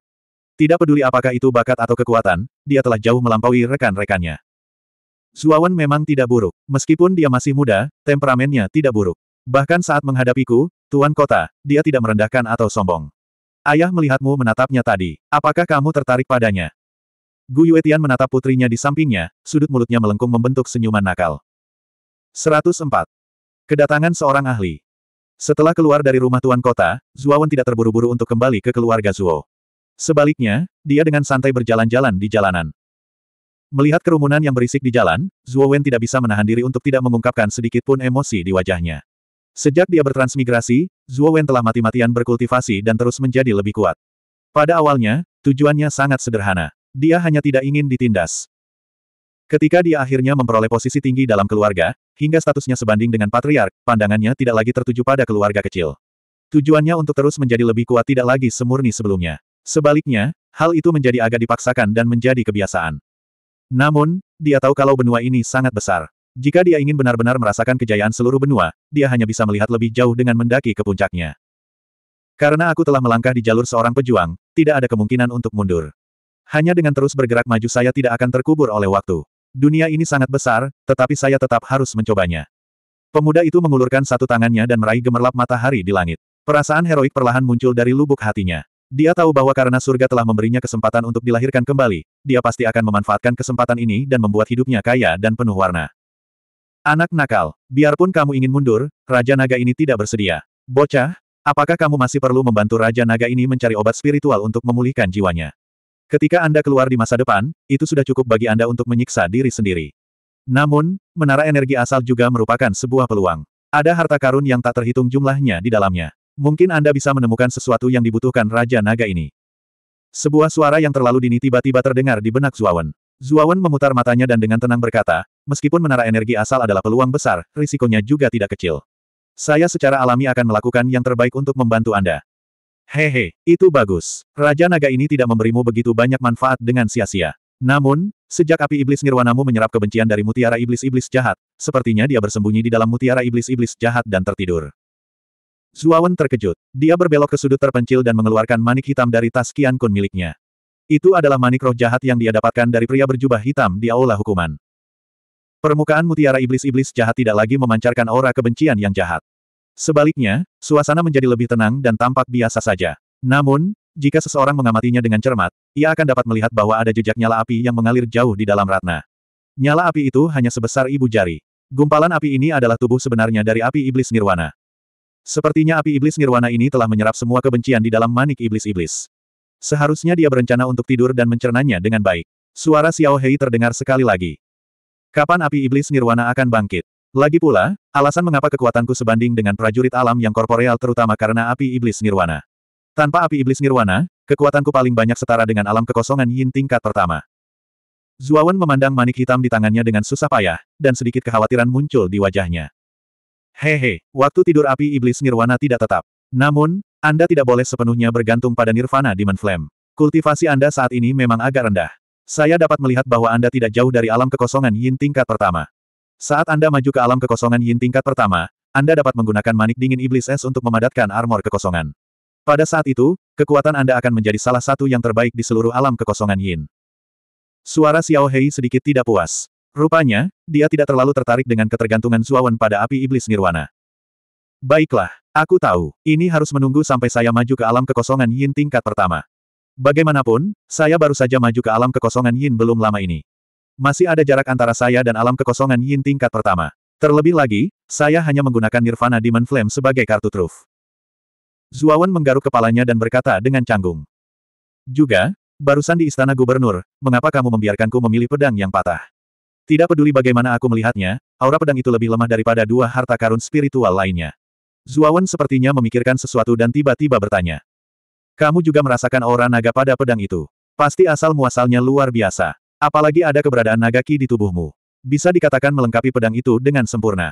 Kekuatannya seharusnya lebih kuat dari harta karun spiritual tingkat rendah biasa. Terlebih lagi, saya bisa merasakan luar biasa dari pedang pembuluh darah naga. Mungkin ini akan memberi Anda manfaat yang tak terbantahkan di masa depan. Mendengar ini, Zuawan merasa lega. Saat dia mengambil pedang, dia bisa merasakan naga ki yang mendidih di tubuhnya. Mungkin seperti yang dikatakan Xiao Hei. Di tangannya, pedang bisa mengeluarkan kekuatan berbeda. Ledakan. Sebuah batu besar setinggi puluhan kaki tiba-tiba jatuh dari langit, menimbulkan percikan api sporadis akibat gesekan dengan udara. Itu dengan keras menabrak tengah jalan, dan gelombang tak terlihat menyebar ke segala arah seperti riak. Saat batu itu jatuh, kerumunan orang di jalan yang semula padat berubah menjadi daging cincang. Darah merah cerah yang tak terhitung jumlahnya menodai tanah berwarna biru. Kemudian, jeritan yang tak terhitung jumlahnya tiba-tiba menyebar, seperti ratapan sedih dari hantu dan serigala. Dalam sekejap, jalan yang semula damai berubah menjadi neraka asura. Darah dan jeritan bercampur. Nyala api yang membumbung di langit sangat menyilaukan di tengah asap hitam yang menyebar. Tidak jauh dari kawah besar yang tercipta dari batu tersebut, di gang terpencil, Zuawan menatap kosong ke jalan yang telah berubah menjadi neraka asura. Jejak keheranan perlahan muncul dari dasar matanya. Apa yang sedang terjadi? Merasa. Saat Zuawan selesai berbicara, Tekanan kuat tiba-tiba turun dari langit. Tekanannya seperti gunung berat yang membebani semua orang. Bahkan Zuawan tidak bisa menahan diri untuk tidak berlutut di bawah tekanan ini. Bang! Tanah biru di bawah lututnya tiba-tiba pecah, dan jejak darah merah ceri mengalir keluar dari bawah kakinya. Begitu tekanan ini turun, jeritan di jalan tiba-tiba berhenti. Mengangkat kepalanya untuk melihat, Zuo segera menarik napas. Orang-orang biasa yang masih hidup sebenarnya meledak di bawah tekanan ini. Itu seperti bom manusia, dengan darah dan anggota tubuh yang patah berserakan di tanah. Hanya beberapa prajurit dengan tingkat kultivasi tertentu yang hampir tidak dapat bertahan, tetapi tubuh mereka masih retak, dan mereka berlutut di tanah, tidak dapat bergerak. Langit kedua mengamuk. Raungan keluar dari tenggorokannya, dan pembuluh darah yang tak terhitung jumlahnya di permukaan tubuhnya tiba-tiba pecah. Segera, tubuhnya dipenuhi dengan kekuatan yang sangat kuat, dan tekanan pada tubuhnya juga diimbangi oleh kekuatan tubuh fisiknya saat ini. Dengan melompat, Zuawan segera naik ke puncak gedung tinggi yang paling dekat dengannya. Berdiri di atas gedung, dia melihat ke kejauhan, dan pemandangan yang sangat mengejutkan tiba-tiba muncul di depannya. Di kejauhan, dua titik hitam tiba-tiba melesat ke arah Fin Armor City dengan kecepatan yang mempesona. Terlebih lagi, ke mana pun dua titik hitam itu lewat, semuanya menjadi ketiadaan. Entah itu perbukitan atau hutan, semuanya menjadi gurun tandus. Saat dua titik hitam terus mendekat, tekanan di ratan Armor City menjadi semakin menakutkan. Beberapa rumah biasa bahkan mulai runtuh, dan sebagian kerikil mulai melayang. Gelombang tekanan yang kuat menyebar ke seluruh rotan Armor City. Pada saat ini, semua orang kuat di Ratan Armor City telah mencapai titik tertinggi. Mata mereka tertuju pada dua titik Xiao Hei yang melaju ke arah mereka dengan kecepatan tinggi. Mereka bisa merasakan bahwa kekuatan yang terkandung dalam dua titik Xiao Hei ini bukanlah sesuatu yang bisa mereka tahan. Kekuatan yang sangat kuat. Apakah kedua prajurit itu juga? Saya tidak berpikir mereka akan memiliki kekuatan sebesar itu. Jaraknya sangat jauh, namun tekanan yang mereka ciptakan masih dapat menyebabkan kehancuran yang begitu besar. Zuawan menatap titik-titik hitam di langit. Saat titik hitam itu semakin dekat, dia bisa dengan jelas melihat wajah sebenarnya dari kedua titik Xiao Hei. Mereka sebenarnya adalah dua pejuang. Anak, kamu harus berhati-hati. Kedua orang ini telah melampaui alam kaisar tertinggi. Mereka mungkin telah mencapai alam empat penguasa yang legendaris. Serangan biasa dari orang kuat seperti itu dapat menghancurkan kota armor rotan Anda. Sial, bagaimana orang kuat seperti itu bisa muncul di tempat kecil seperti milikmu? Suara Xiao Hei tiba-tiba terdengar. Ada nada panik dan jengkel dalam suaranya. Alam empat penguasa, wajah Zuawan akhirnya menunjukkan ekspresi keterkejutan yang mendalam. Dia tahu bahwa alam kaisar tertinggi berada di atas alam Raja Zhao, dan di atasnya adalah alam empat penguasa. Kita harus tahu bahwa prajurit dari alam empat penguasa sangat langka di seluruh kekaisaran King Xuan. Bahkan Kaisar King tidak berani meremehkan orang sekuat itu. Lagi pula, setelah alam empat penguasa adalah alam kekuasaan kekaisaran. Begitu seseorang melewati ambang alam empat penguasa, seseorang dapat mencapai level Kaisar King. Di Kekaisaran King Xuan, jika seorang pejuang realem kaisar tertinggi dapat mencapai tingkat markis, maka status seorang pejuang alam empat penguasa akan mencapai tingkat yang lebih tinggi. Mereka akan meraih gelar tertinggi Komandan Agung. Status Komandan Agung hanya berada di bawah Kaisar King, jadi sudah jelas seberapa tinggi status seorang pejuang alam empat penguasa. Di bagian bawah tembok kota Ratan Armor City yang menjulang tinggi, tak terhitung banyaknya penggarap kuat dari istana Tuan Kota berdiri di atasnya. Wajah mereka dipenuhi ketakutan dan kekhawatiran saat mereka menatap dua kultivator kuat di langit. Penguasa kota, Gu Yuetian, berdiri di antara mereka. Di belakang Gu Yuetian adalah tetua berjubah biru, Xing Yusen. Salah satu dari dua pembudidaya kuat di langit mengenakan baju besi berwarna merah darah. Permukaan armornya memiliki banyak duri yang menyeramkan. Di saat yang sama, permukaan armor terkadang bersinar dengan cahaya merah darah yang aneh. Aura yang mendominasi langsung mengalir keluar dari kultivator kuat ini. Kultivator kuat lainnya mengenakan baju besi hijau. Cahaya hijau samar mengelilingi armor itu seperti perisai pelindung yang sempurna. Aura yang tidak lebih lemah dari aura yang mengenakan baju besi berwarna merah darah juga mengalir keluar dari tubuh kultivator kuat ini. Mengapa kedua kultivator kuat yang tak tertandingi ini datang ke kota rotan armor kecil kita? Gu Yuetian memandangi dua kultivator tingkat paragon tidak jauh dari situ. Tiba-tiba, dia memikirkan sesuatu dan keringat dingin muncul di wajahnya. Kalian berdua, cepat undang Tuan Changmu. Sayangnya kita harus mengundang dia untuk membentuk formasi pertahanan. Kemungkinan besar kedua ahli level Paragon ini akan bertarung di dekat kota Fin Armor kita. Dengan kekuatan prajurit lapis baja tingkat Paragon, itu cukup untuk menghancurkan seluruh kota Fin Armor kita. Gu Yuetian menginstruksikan dua bawahan di sampingnya dengan ekspresi menyayat hati. Kedua bawahannya juga menyadari betapa parahnya situasi. Mereka merespon dan segera berlari ke pusat perdagangan di Ratan Armor City untuk mengundang Master Chang Mu kemari. Kuharap kita masih bisa melakukannya. Gu Yuetian memandang dengan cemas pada dua kultivator kuat yang tak tertandingi tidak jauh dari sana. Dia sangat jelas tentang kekuatan para penggarap tingkat Paragon. Mereka hanya perlu melambaikan tangan dan seluruh kota armor rotan akan berubah menjadi reruntuhan. Sama seperti Gu Yuetian yang cemas seperti semut di wajan panas, kedua bawahan yang baru saja pergi akhirnya bergegas kembali. Di belakang mereka adalah Master Changmu, yang mengenakan jubah panjang dan berkulit kemerahan. Pada saat ini, tatapan Guru Changmu agak serius saat dia melihat kedua kultivator kuat yang diam-diam melayang di langit tidak jauh dari sana. Entah kenapa, Kedua pembudidaya kuat itu tiba-tiba berhenti di udara di atas bukit kecil dekat Ratan Armor City dan saling berhadapan dari kejauhan. Segera aktifkan formasi pertahanan. Saudara Gu, kamu harus mengumpulkan semua prajurit di kota untuk mempertahankan formasi. 105. Perwujudan jiwa armor. Bang! Lusinan kristal pecah dan berubah menjadi bubuk. Akhirnya, mereka membentuk barisan yang agak aneh di depan Grandmaster Kuraki. Bagian tengah susunan itu diukir dengan rune yang rumit, dan jejak energi aneh dipancarkan dari susunan itu. Saat ini, ekspresi Master Kuraki cukup serius. Dia membentuk segel lain dengan kedua tangannya dan mendorongnya ke depan. Susunan sihir di depannya segera menyapu ke arah langit di atas ratan Armor City. Akhirnya, itu berubah menjadi susunan sihir besar di pusat kota, menyelimuti seluruh kota. Pada saat yang sama, Gu Yuetian mengumpulkan semua prajurit di atas alam kekosongan Yin di istana penjaga dan berdiri di belakang Tuan Kuraki. Saudara Gu, ketiga kristal besar ini adalah inti dari formasi pertahanan. Lindungi mereka setiap saat. Selain itu, Kalian semua harus terus mentransfer energi asal kalian ke dalam kristal. Kalian tidak boleh berhenti. Grandmaster Kuraki mengeluarkan tiga kristal bundar seukuran telapak tangan dari dadanya dengan ekspresi serius dan melemparkannya ke Gu Yuetian yang berada di belakangnya. Gu Yuetian menganggukkan kepalanya dengan berat. Tak lama setelah itu, dia mengatur agar anak buahnya menjaga pasokan energi unsur ketiga kristal mata formasi. Tidak lama kemudian, tiga kristal mata formasi yang menerima energi unsur menembakkan tiga pilar cahaya putih susu. Tiga pilar cahaya tiba-tiba memasuki susunan ajaib di langit di atas pusat kota.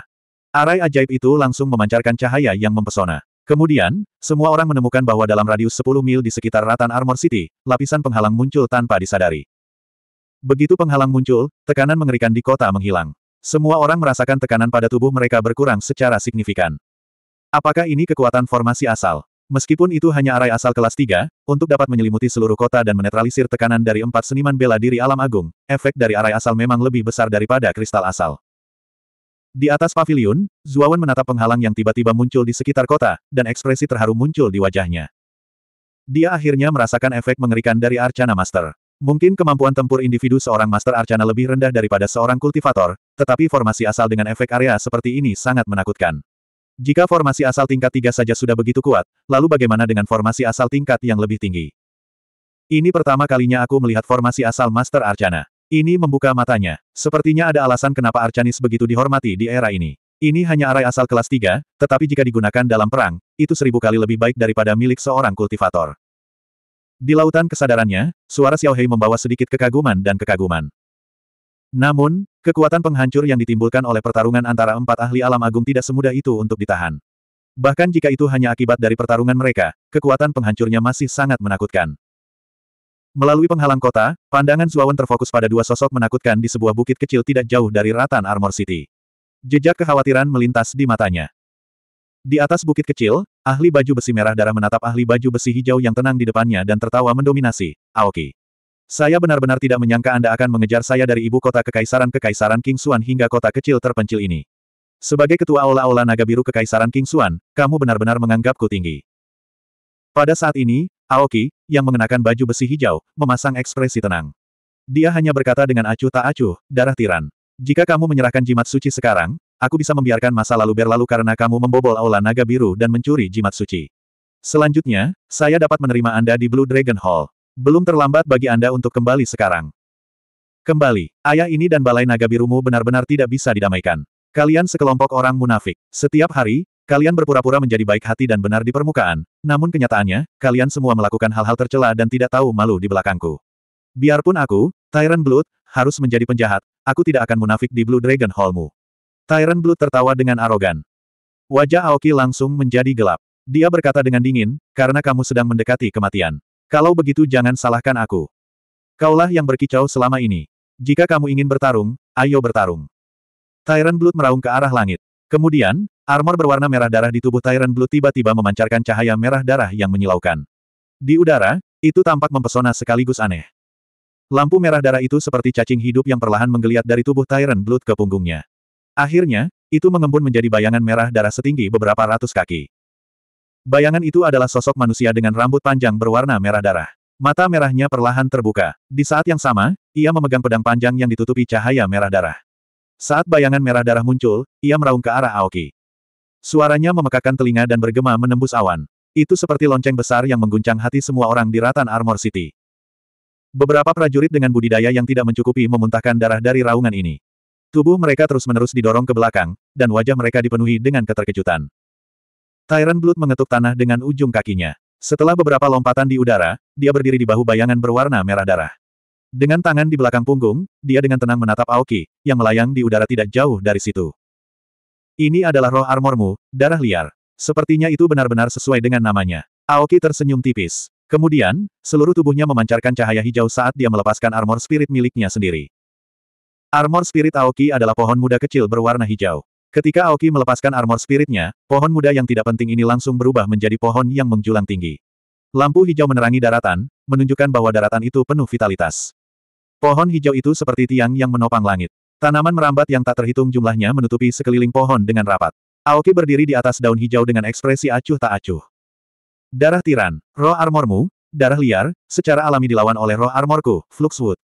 Kultivasi kami hampir sama. Anda bukan lawan saya. Sekarang, aku akan memberimu satu kesempatan lagi. Serahkan simbol suci dan masuk ke Aula Naga Biru. Kalau begitu, aku akan membiarkan masa lalu berlalu. Aoki menatap Tyrant Blood dan berkata dengan acuh tak acuh.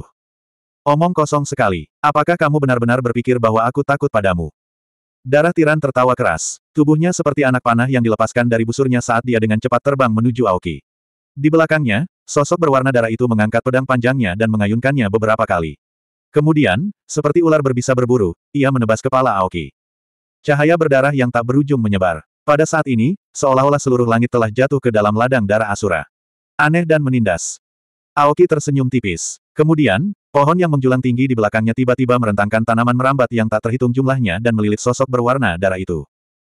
Darah Tyrant dengan dingin mendengus. Sosok berwarna darah itu menebas dengan pedangnya. Seperti seorang jenderal kuno, ia dengan dominan memotong tanaman merambat menjadi bubuk. Namun, tanaman merambat Aoki sangat aneh. Sama seperti tanaman merambat yang dipotong oleh bilahnya, tanaman merambat baru dengan cepat tumbuh dari potongan tersebut. Sekalipun api tidak dapat membakarnya, mereka akan tumbuh kembali saat angin musim semi bertiup. Kemampuan tanaman merambat untuk tumbuh terlalu kuat. Meskipun sosok berwarna darah itu menggunakan seluruh kekuatannya, ia masih belum mampu melepaskan diri dari tanaman merambat. Pada akhirnya, itu benar-benar terbungkus menjadi bola oleh tanaman merambat yang tak terhitung jumlahnya, seperti kepompong. Bibir Aoki membentuk senyuman. Namun, senyumannya dengan cepat membeku. Tanaman merambat yang seperti kepompong tiba-tiba mengeluarkan cahaya berdarah. Kemudian, tanaman merambat yang kuat ini tiba-tiba tersebar menjadi bubuk. Tyrant Blood, yang baru saja keluar, memandang Aoki dengan ekspresi muram. Matanya yang berwarna darah dipenuhi ketakutan. Gemuruh. Di mana pun cahaya berdarah menyebar, riak tak berujung menyebar. Tidak peduli apakah itu puncak gunung yang tinggi atau lembah yang pendek, semuanya rata dengan tanah oleh cahaya berdarah. Penghalang luar ratan Armor City akhirnya terpengaruh oleh cahaya berdarah. Hanya suara retakan yang terdengar jelas. Seluruh penghalang bergetar hebat saat cahaya berdarah bersentuhan dengannya. Para ahli yang tak terhitung jumlahnya di kota itu terhuyung-huyung sebelum akhirnya berhasil berdiri teguh. Setelah cahaya berdarah berlalu, bagian tanaman merambat yang baru saja dipotong oleh sosok berwarna darah itu mendarat di penghalang. Bagian tanaman merambat ini menempati hampir sepertiga luas permukaan ratan Armor City. Ketika tanaman merambat menabrak penghalang, getaran yang lebih keras tiba-tiba terdengar. Segera, semua orang terkejut saat mengetahui bahwa tanah di kota itu sebenarnya mulai retak akibat dampak ini. Seperti jaring laba-laba, menyebar ke seluruh kota. Dengan suara retak, penghalang luar mulai retak karena pengaruh tanaman merambat. Semuanya, tingkatkan hasil kalian. Kita harus melindungi lapisan penghalang ini. Jika penghalang itu rusak, kita semua akan mati. Gu Yuetian juga melihat celah pada penghalang dan berteriak keras. Dia menyalurkan seluruh kekuatan Yuan di tangannya ke dalam inti kristal formasi. Pada saat kritis ini, praktisi lain juga mengeluarkan potensi mereka dan menyalurkan semua kekuatan Yuan di tubuh mereka ke dalam inti kristal. Dalam proses menuangkan Yuan Power secara terus-menerus, kecepatan penyebaran retakan pada penghalang juga perlahan-lahan terhenti. Akhirnya, di bawah upaya gabungan semua orang, tanaman merambat itu memantul kembali ke ladang terdekat, langsung membuat lubang besar yang dalam di ladang tersebut. Melihat lubang dalam yang muncul tidak jauh, semua orang di Ratan Armor City tidak bisa menahan perasaan gemetar. Empat pejuang alam supremasi terlalu menakutkan. Sedikit saja dampaknya hampir merenggut seluruh nyawa mereka. Di kota, Zuawan menyipitkan matanya dan menatap sosok berwarna darah yang tingginya ratusan kaki dan pohon yang menjulang tinggi seperti pilar yang menopang langit. Dia bisa merasakan bahwa sosok berwarna darah dan pohon yang menjulang tinggi adalah jiwa pelindung dari kedua ahli tersebut. Dia tidak berpikir bahwa jiwa pelindung para prajurit bisa mencapai tingkat yang begitu menakutkan. Bisakah jiwa pelindung mencapai tingkat yang menakutkan? Zuawan tidak bisa menahan diri untuk tidak bergumam. Nak, pengetahuanmu terlalu dangkal. Ketika budidaya seorang pejuang mencapai alam kaisar tertinggi, jiwa pelindung di tubuh mereka dapat terwujud. Kekuatannya bisa dibilang sangat menakutkan. Budidaya kedua ahli ini berada di alam supremasi keempat. Setelah jiwa pelindung di tubuh mereka terwujud, tidak banyak perbedaan antara kekuatan dan tubuh mereka. Dengan kata lain, mereka memiliki prajurit alam supremasi keempat tambahan yang membantu mereka. Inilah mengapa prajurit jiwa armor kembar sangat dihargai di benua armor surgawi. Setelah budidaya mereka mencapai alam kaisar tertinggi, mereka dapat mewujudkan dua jiwa pelindung. Dengan kata lain, mereka memiliki dua pembantu dengan kekuatan yang sama dari udara tipis. Tak perlu dikatakan lagi, prajurit dengan tiga jiwa pelindung bahkan lebih kuat. Jika kultivasimu mencapai alam supremasi keempat, keduanya mungkin bukan tandinganmu meskipun mereka bekerja sama. Sayang sekali kamu terlalu lemah. Xiao Hei duduk di bahu Zuawan pada suatu saat dan meregangkan tubuh dengan malas sambil terkekeh. 106. Rune Api Es Suci Di atas bukit kecil, Tyrant Blood, yang tubuhnya ditutupi pelindung darah, memandang dengan ketakutan ke sosok hijau yang melayang di udara. Aoki, kamu sangat kuat, tapi apakah kamu pikir kamu bisa mengalahkanku seperti ini? Kamu akan tahu setelah kamu mencobanya. Aoki berkata dengan acuh tak acuh. Wajah Tyrant Blood segera menjadi serius, dan dia berkata dengan acuh tak acuh, aku tidak akan menahan diri. Kali ini, aku akan menggunakan kekuatan penuhku. Entah kamu mati atau aku mati dalam pertempuran ini. Setelah dia selesai berbicara, aura Tyrant Blood melonjak. Kedua tinjunya ditutupi cahaya merah iblis. Tyrant Blood dengan ringan mengayunkan tinjunya, dan jejak aneh muncul di udara. Fluktuasi energi yang dipancarkan secara samar menyebabkan ruang di sekitarnya bergetar. Tyrant Blood mengeluarkan raungan keras dan menembak ke arah King Mu. Tinju tiran langit berlumuran darah. Raungan tertahan terdengar dari tenggorokan Tyrant Blood, dan pada saat yang sama, cahaya merah darah menyebar dari tubuhnya. Pada saat ini, seluruh tubuh Tyrant Blood ditutupi dengan cahaya merah darah, dan dia tampak seperti dewa iblis yang bermandikan darah. Aura ganas dan tirani keluar dari tubuhnya, dan mata merahnya menatap dingin ke arah Aoki, dan sosoknya bersinar. Hanya suara hembusan angin yang mengerikan yang bisa terdengar, dan tangan besi Tyrant Blood yang diselimuti cahaya berdarah melesat ke arah King Mu, seolah-olah bisa menembus langit. Aoki tidak bisa lagi mempertahankan ekspresi tenang di wajahnya, dan digantikan dengan ekspresi serius dan gelisah. Aoki menyatukan kedua telapak tangannya, dan dalam sekejap, dia membentuk beberapa segel yang rumit. Segel penjara Ashwood. Aoki berteriak, dan segel hijau aneh tiba-tiba terbang dari tangannya, menembaki pohon yang menjulang tinggi di belakangnya. Setelah itu, Pohon yang menjulang tinggi itu tiba-tiba tumbuh subur seolah-olah telah disuntik darah ayam. Tanaman merambat yang tak terhitung jumlahnya segera mengelilingi Aoki, dan di depannya, mereka membentuk perisai kayu hijau berbentuk oval. Setidaknya ada beberapa ratus, dan mereka berlapis di depan Aoki. Apakah menurutmu perisai kayu yang rusak ini dapat memblokir tinju hegemonik darahku?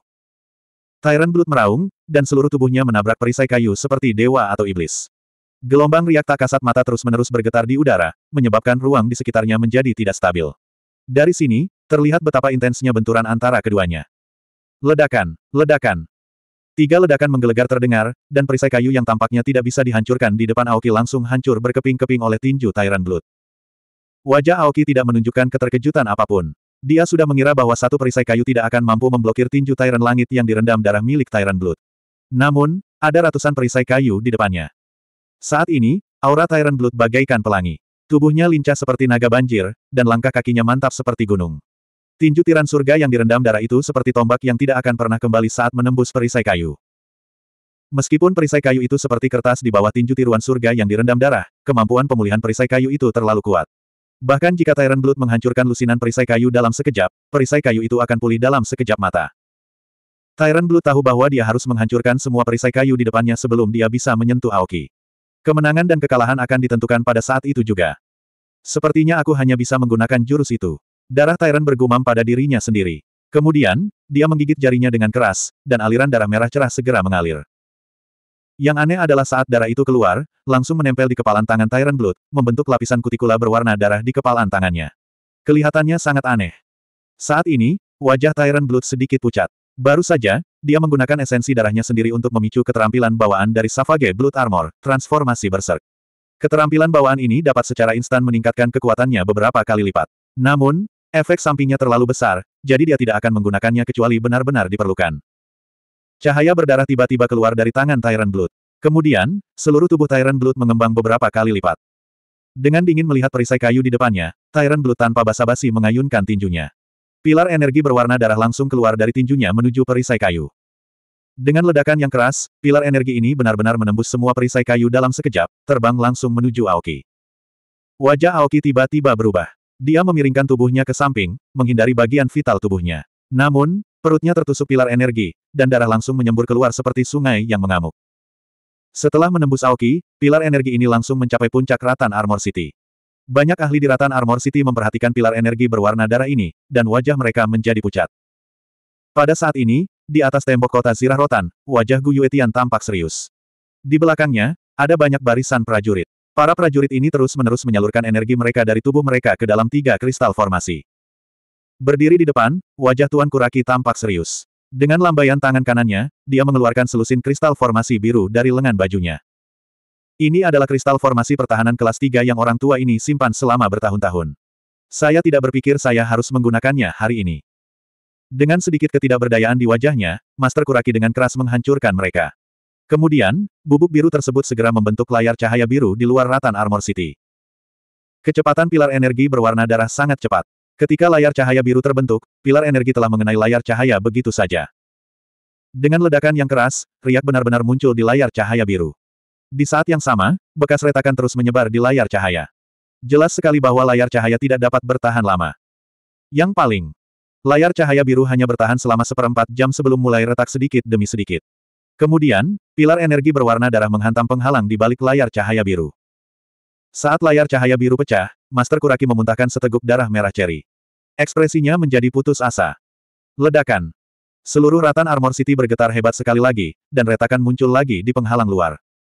Saat ini, wajah Gu Yuetian sangat cemas. Jika pilar energi ini menghantam ratan Armor City secara langsung, meski tidak menghancurkan seluruh kota, setidaknya separuh kota akan hancur.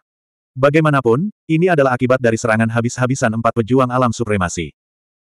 Pada saat ini, lusinan prajurit di belakang Gu Yuetian semuanya memuntahkan darah. Master Kuraki, yang awalnya putus asa, bangkit kembali dan berteriak, semuanya, bekerja sama untuk mengubah arah pilar energi. Lusinan prajurit berteriak serempak, lalu sekali lagi menguras energi di tubuh mereka dan dengan panik menyalurkannya ke dalam kristal formasi. Pada akhirnya, ketika semua prajurit tidak dapat bertahan lebih lama lagi, mereka akhirnya mengubah arah pilar energi saat penghalang itu pecah.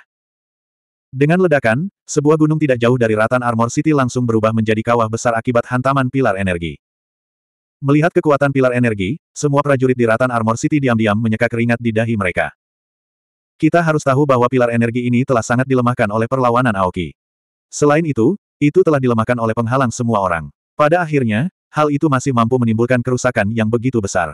Seberapa kuat kekuatan sebenarnya dari pilar energi ini? Di udara di atas bukit, Aoki memegangi perutnya. Wajahnya pucat, dan ada sedikit rasa tidak percaya di matanya saat dia melihat Tyrant Blood. Aoki, Anda kalah. Wajah Tyrant Blood pucat saat dia melihat ke arah Aoki, yang berada di ambang kehancuran. Hilang, hehe, terus, orang yang pada akhirnya akan mati tetaplah kamu, dan simbol suci akan menjadi milikku. Saat dia berbicara, Aoki mengeluarkan origin kristal merah dari dadanya. Saat kristal asal muncul, gelombang energi yang menyala-nyala menyapu udara. Ini adalah kristal asal tingkat 5. Pada saat ini, wajah Tyrant Blood menunjukkan ekspresi terkejut untuk pertama kalinya. Itu terbuat dari inti binatang asal tingkat 5, Phoenix penghancur surga. Kristal asal ini disebut api mengamuk penghancur surga. Merupakan suatu kehormatan bagimu untuk mati di bawah api mengamuk penghancur surga. Jejak kegilaan dan rasa kasihan muncul di mata Aoki. Dasar orang gila, ayah ini tidak ingin bermain denganmu lagi. Mata Tyrant Blood dipenuhi ketakutan, dan dia benar-benar berbalik untuk melarikan diri. Aoki tertawa sinis dan berkata dengan gila, kamu pikir kamu bisa melarikan diri. Sayang sekali origin kristal ini. Setelah berbicara, Aoki segera mengangkat origin kristal dan melantunkan mantra samar. Setelah itu, seruan burung phoenix yang keras bergema di langit. Setelah itu, nyala api melonjak keluar dari kristal asal di tangan Aoki, dan akhirnya berubah menjadi phoenix api setinggi seratus sang. Fire Phoenix setinggi seratus sang menutupi langit pada saat ini, dan apa yang dilihat semua orang di Ratan Armor City adalah langit yang penuh dengan api. Ketakutan berangsur-angsur memenuhi hati setiap orang. Saat Fire Phoenix muncul, ia langsung merobek udara dan mengejar Tyrant Blood, secepat angin dan secepat kilat. Melihat Fire Phoenix yang semakin dekat, ketakutan di wajah Tyrant Blood menjadi semakin intens. Melihat Fire Phoenix hendak mengejarnya, mata Tyrant Blood menunjukkan sedikit ketegasan. Karena aku akan mati, aku akan berusaha sekuat tenaga. Tangan kanannya tiba-tiba menepuk tas Qian Kun di pinggangnya, dan dia mengeluarkan sebuah kotak hitam kecil seukuran telapak tangan. Setelah itu, dia membuka kotak hitam itu tanpa ragu sedikit pun, dan jimat seukuran telapak tangan muncul di telapak tangannya. Penampilan jimat itu sangat aneh, dan warna di kedua sisinya sangat berbeda. Sisi kiri berwarna merah menyala, sedangkan sisi kanan berwarna biru es. Di bagian tengah jimat terdapat pola aneh yang bercampur antara warna merah dan biru. Aura aneh yang tidak panas atau dingin keluar dari jimat.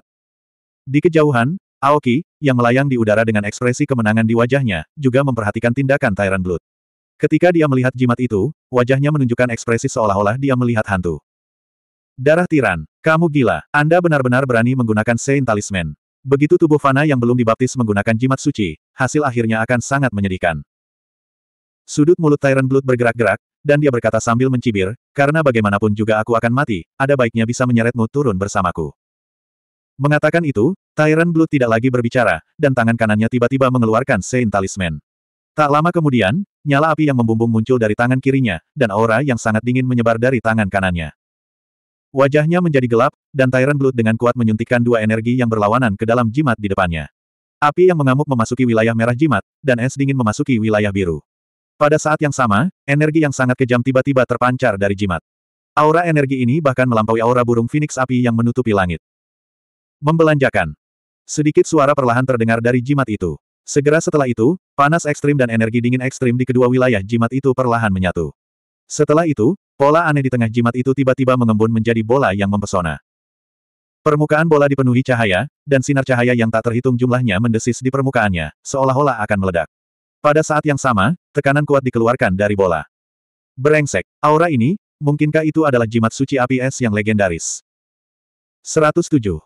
Jimat api es suci. Apa itu? Zuawan melirik ke arah Xiao Hei, yang melompat-lompat di bahunya seolah-olah dia telah meminum obat perangsang nafsu berahi, dan sedikit keraguan muncul di matanya. Tidakkah sulit untuk menjelaskannya sekarang? Bagaimanapun, bahkan seorang ahli kaisar realem tidak dapat mengabaikan harta karun semacam ini. Tidak heran kedua ahli empat pendeta realem ini berjuang dengan mempertaruhkan nyawa mereka. Itu karena jimat api es suci. Nak, kamu harus mendapatkan benda ini. Jimat suci memiliki manfaat yang tak terlukiskan bagi Anda dan saya. Zuawan mengangkat telinganya dan memutar matanya tanpa berkata-kata. Xiao Hei berdiri di bahunya dan terus mengaum di telinganya. Bahkan dia merasakan telinganya berdengung. Cukup memekakkan telinga. Aku bilang, kamu pasti bercanda. Kedua orang itu adalah ahli empat pendeta realem. Jangankan aku, bahkan penguasa kota Fin Armor, Gu Yuetian, akan hancur berkeping-keping jika dia pergi ke sana. Jika kamu ingin mati, jangan datang mencariku. Zuawan tidak tahan dengan Xiao Hei yang berteriak di bahunya, dan tiba-tiba menariknya ke bawah. Namun, tatapannya agak serius saat dia melihat peningkatan tekanan dan energi di langit yang jauh. Dia bisa merasakan betapa kuatnya jimat di tangan ahli armor berwarna merah darah itu. Meskipun dia tidak tahu apa pun tentang jimat suci, kekuatan yang ditunjukkannya saat ini sudah cukup untuk membuatnya takut. Anak, hanya karena kamu tidak punya jalan bukan berarti Raja Naga ini juga tidak punya jalan. Aura jimat suci sangat membantu tubuh spiritual. Raja Naga ini berusaha sekuat tenaga kali ini. Tidak peduli metode apa yang harus aku gunakan, aku harus mendapatkan jimat suci. Xiao Hei tiba-tiba melepaskan diri dari tangan Zuawan dan melompat ke bahunya lagi. Dia berdiri dengan kaki belakangnya dan meletakkan cakarnya di belakang punggungnya. Dia ingin menciptakan citra seorang ahli yang kesepian. Zuawan melirik aneh ke arah Xiao Hei yang sok di bahunya. Apalagi saat dia melihat pose kesepian Xiao Hei dan ekspresi kesepian dan melankolis di wajahnya, dia merasa sesuatu yang disebut integritas di hatinya telah hilang sama sekali saat ini. Untungnya, dia berada dalam posisi yang relatif tersembunyi. Kalau tidak, jika orang lain melihatnya, dia akan kehilangan banyak muka. Anak nakal, ada apa dengan sorot matamu itu? Apa pun yang terjadi, aku harus mengambil jimat suci itu. Bocah, pinjamkan aku tubuhmu. Jangan melawan. Mata Xiao Hei tiba-tiba berubah menjadi serius. Kemudian, ia melambaikan kedua cakarnya dengan lembut, dan kabut hitam tebal segera menyelimuti pria dan anjing itu. Darah tiran, Anda sebaiknya berhenti menggunakan jimat suci. Kalau tidak, kamu juga tidak akan bisa hidup. Di udara di atas bukit, ketakutan di mata Aoki semakin kuat. Sebagai ketua Aula cabang Aula Naga Biru, dia sangat menyadari kekuatan yang bisa dihasilkan oleh Saint Rune. Kekuatan seperti itu adalah sesuatu yang bahkan dia tidak bisa menahannya. Bisa. Seteguk darah keluar dari mulut Tyrant Blood. Di saat yang sama, armor berwarna merah darah yang terkondensasi di tubuhnya hancur dengan suara retak. Awan darah menyembur keluar dari tubuhnya, tapi sudut mulut Tyrant Blood membentuk senyuman. Jadi bagaimana jika aku mati? Sebelum aku mati, bisa menyeret sampah dari aula naga biru bersamaku bukanlah hal yang buruk. Setelah mengatakan itu, Tyrant Blood tiba-tiba menyilangkan tangannya dan mendorong telapak tangannya.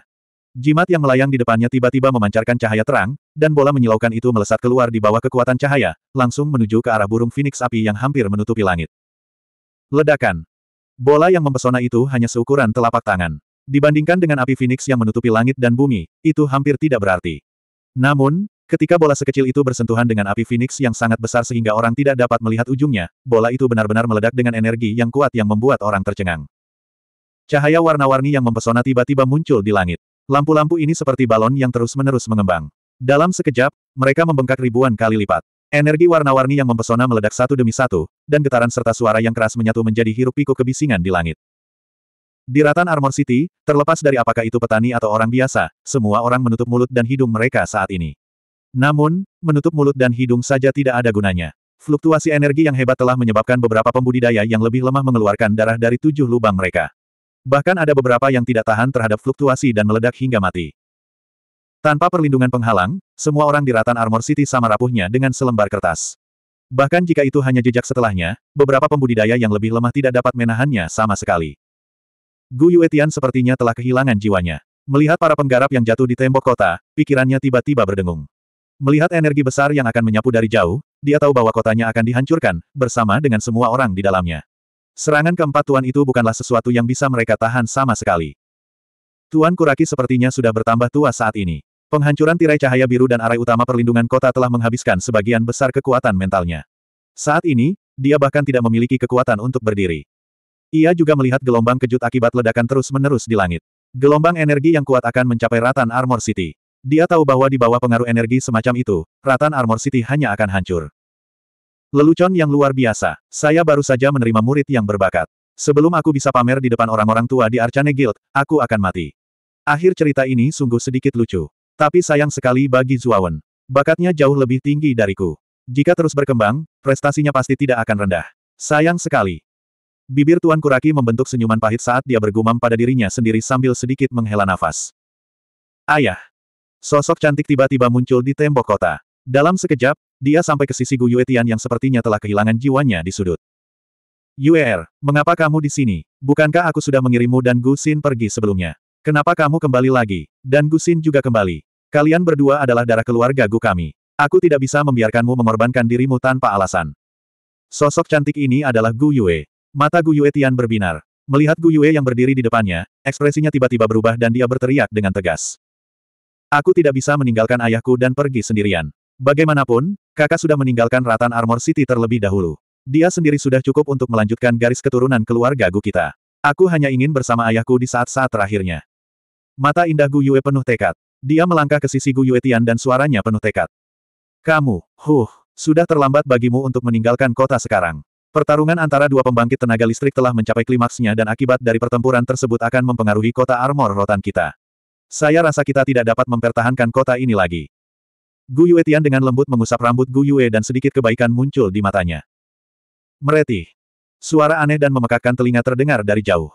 Gu Yue Tian dan putrinya mengangkat kepala dan terkejut karena ledakan energi warna-warni sekarang hanya berjarak kurang dari 10 mil dari mereka. Mereka bahkan dapat dengan jelas merasakan sensasi aneh yang tidak panas atau dingin yang disalurkan dari energi tersebut. Itu adalah sensasi aneh yang tidak panas atau dingin pada saat bersamaan. Apa pun yang terjadi, kita harus berjuang mati-matian. Sepotong perjuangan muncul di wajah Gu Yuetian.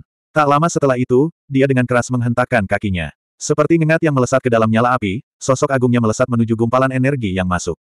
Kedua telapak tangannya dengan kuat menjulur ke atas, karena semua kekuatan Yuan di tubuhnya ditarik keluar sepenuhnya. Telapak tangan yang menghancurkan bumi. Raungan tertahan dari tenggorokannya. Segera, energi kuning tanah berkumpul di telapak tangannya. Setelah itu, dia tiba-tiba membanting telapak tangannya ke tanah. Segera, tanah mulai bergetar. Setelah itu, sebuah gunung setinggi ribuan kaki tiba-tiba muncul dari tanah yang tak berbatas. Seolah-olah benda itu telah ditarik keluar dari tanah. Gemuruh. Gugus energi lima warna bertabrakan dengan gunung tanpa ragu-ragu. Klaster energi sekali lagi meledak menjadi kerusuhan warna, dan seluruh klaster energi membengkak lagi. Dalam sekejap, ia menelan seluruh gunung, dan pada akhirnya, hanya tumpukan kerikil dan bubuk yang tersisa di tempatnya. Muncul. Gu Yuetian mengerang dan terbang mundur sambil memegangi dadanya.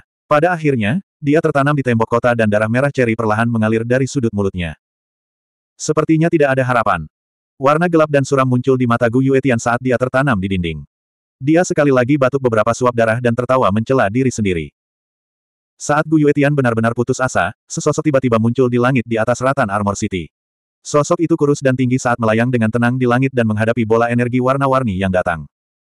Di ratan Armor City, tatapan semua orang tertarik pada sosok ini.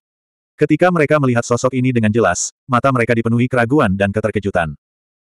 Ini karena sosok ini sebenarnya dikelilingi oleh kabut hitam pekat yang aneh. Sekilas, samar-samar seseorang hanya bisa melihat sosok di dalam kabut. Satu-satunya ciri yang membedakan sosok ini adalah sepasang mata emas gelap yang tajam. Bahkan kabut hitam pekat pun tidak bisa menyembunyikan warna emas gelap pada matanya. Siapa orang ini? Apakah dia bermaksud membantu Ratan Armor City kita menahan bola energi yang menakutkan itu? Mendesah. Nasib Rotan Armor City kita telah berakhir. Anda harus tahu bahwa kedua orang itu adalah empat makhluk tertinggi. Meskipun kita tidak bisa melihat aura orang ini, akan sangat sulit baginya untuk menahan serangan empat makhluk tertinggi. Diskusi juga berlangsung dengan tenang. Meski banyak orang di kota yang meragukan sosok yang tiba-tiba muncul di langit di atas kota, secercah harapan muncul di mata semua orang. Jauh di lubuk hati mereka, mereka memiliki fantasi yang luar biasa bahwa sosok ini dapat menahan bola energi lima warna yang menindas. Meski hanya secercah harapan, mereka tidak mau menyerah. Di langit di atas, sosok hitam itu tanpa ekspresi. Mata emas gelapnya tiba-tiba meledak dengan cahaya yang kuat. Kemudian, kabut hitam pekat di sekujur tubuhnya tiba-tiba bergulung. Sosok itu melambaikan tangan kanannya dan kabut tak berujung tiba-tiba mengembun. Akhirnya, di bawah pandangan semua orang, ia berubah menjadi naga hitam pekat yang panjangnya ribuan kaki.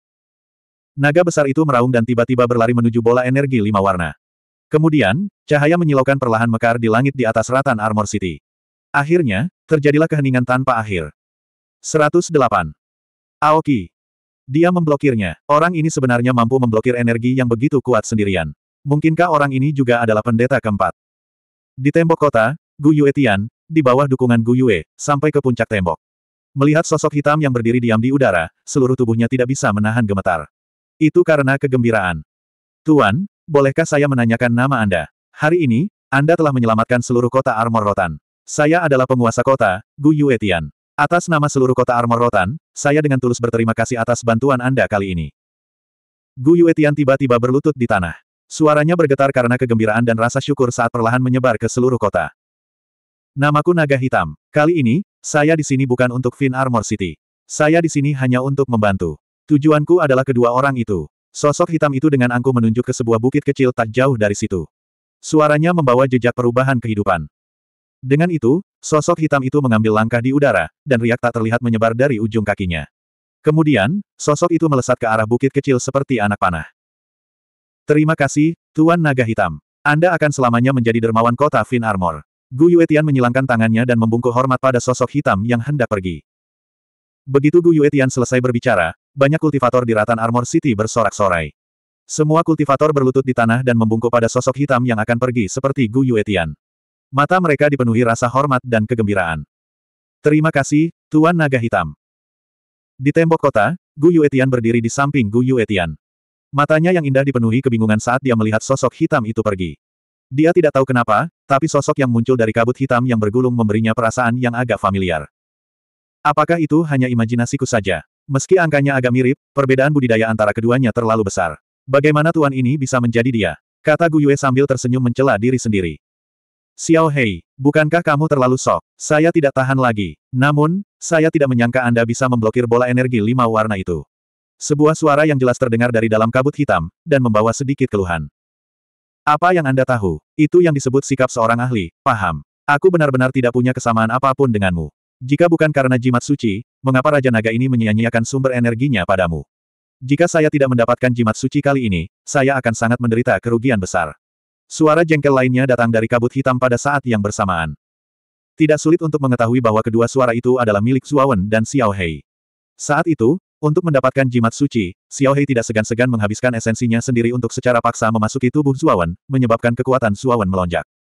Apakah jimat suci itu benar-benar penting? Untuk benar-benar membiarkan orang kikir sepertimu menggunakan sumber energimu. Anak nakal yang picik. Selama seseorang adalah seorang ahli, tidak ada orang yang tidak ingin mendapatkan Saint Talisman. Konon jimat suci ada hubungannya dengan rahasia menjadi dewa. Untuk detailnya, kita akan membicarakannya setelah mendapatkan Saint Talisman. Sekarang setelah Anda memiliki sumber energi Raja Naga ini, kekuatan Anda dapat dianggap telah mencapai alam supremasi keempat. Seharusnya itu lebih dari cukup untuk menghadapi dua orang yang sudah terluka parah itu. Baiklah, mari kita pergi ke sana dan melihatnya. Tabrakan tadi bisa dikatakan menggemparkan dunia. Saya ingin tahu apa yang terjadi pada kedua ahli itu pada akhirnya. Setelah berbicara, sosok kabut hitam melangkah ke dalam kehampaan lagi, dan kecepatannya meningkat dengan selisih yang besar.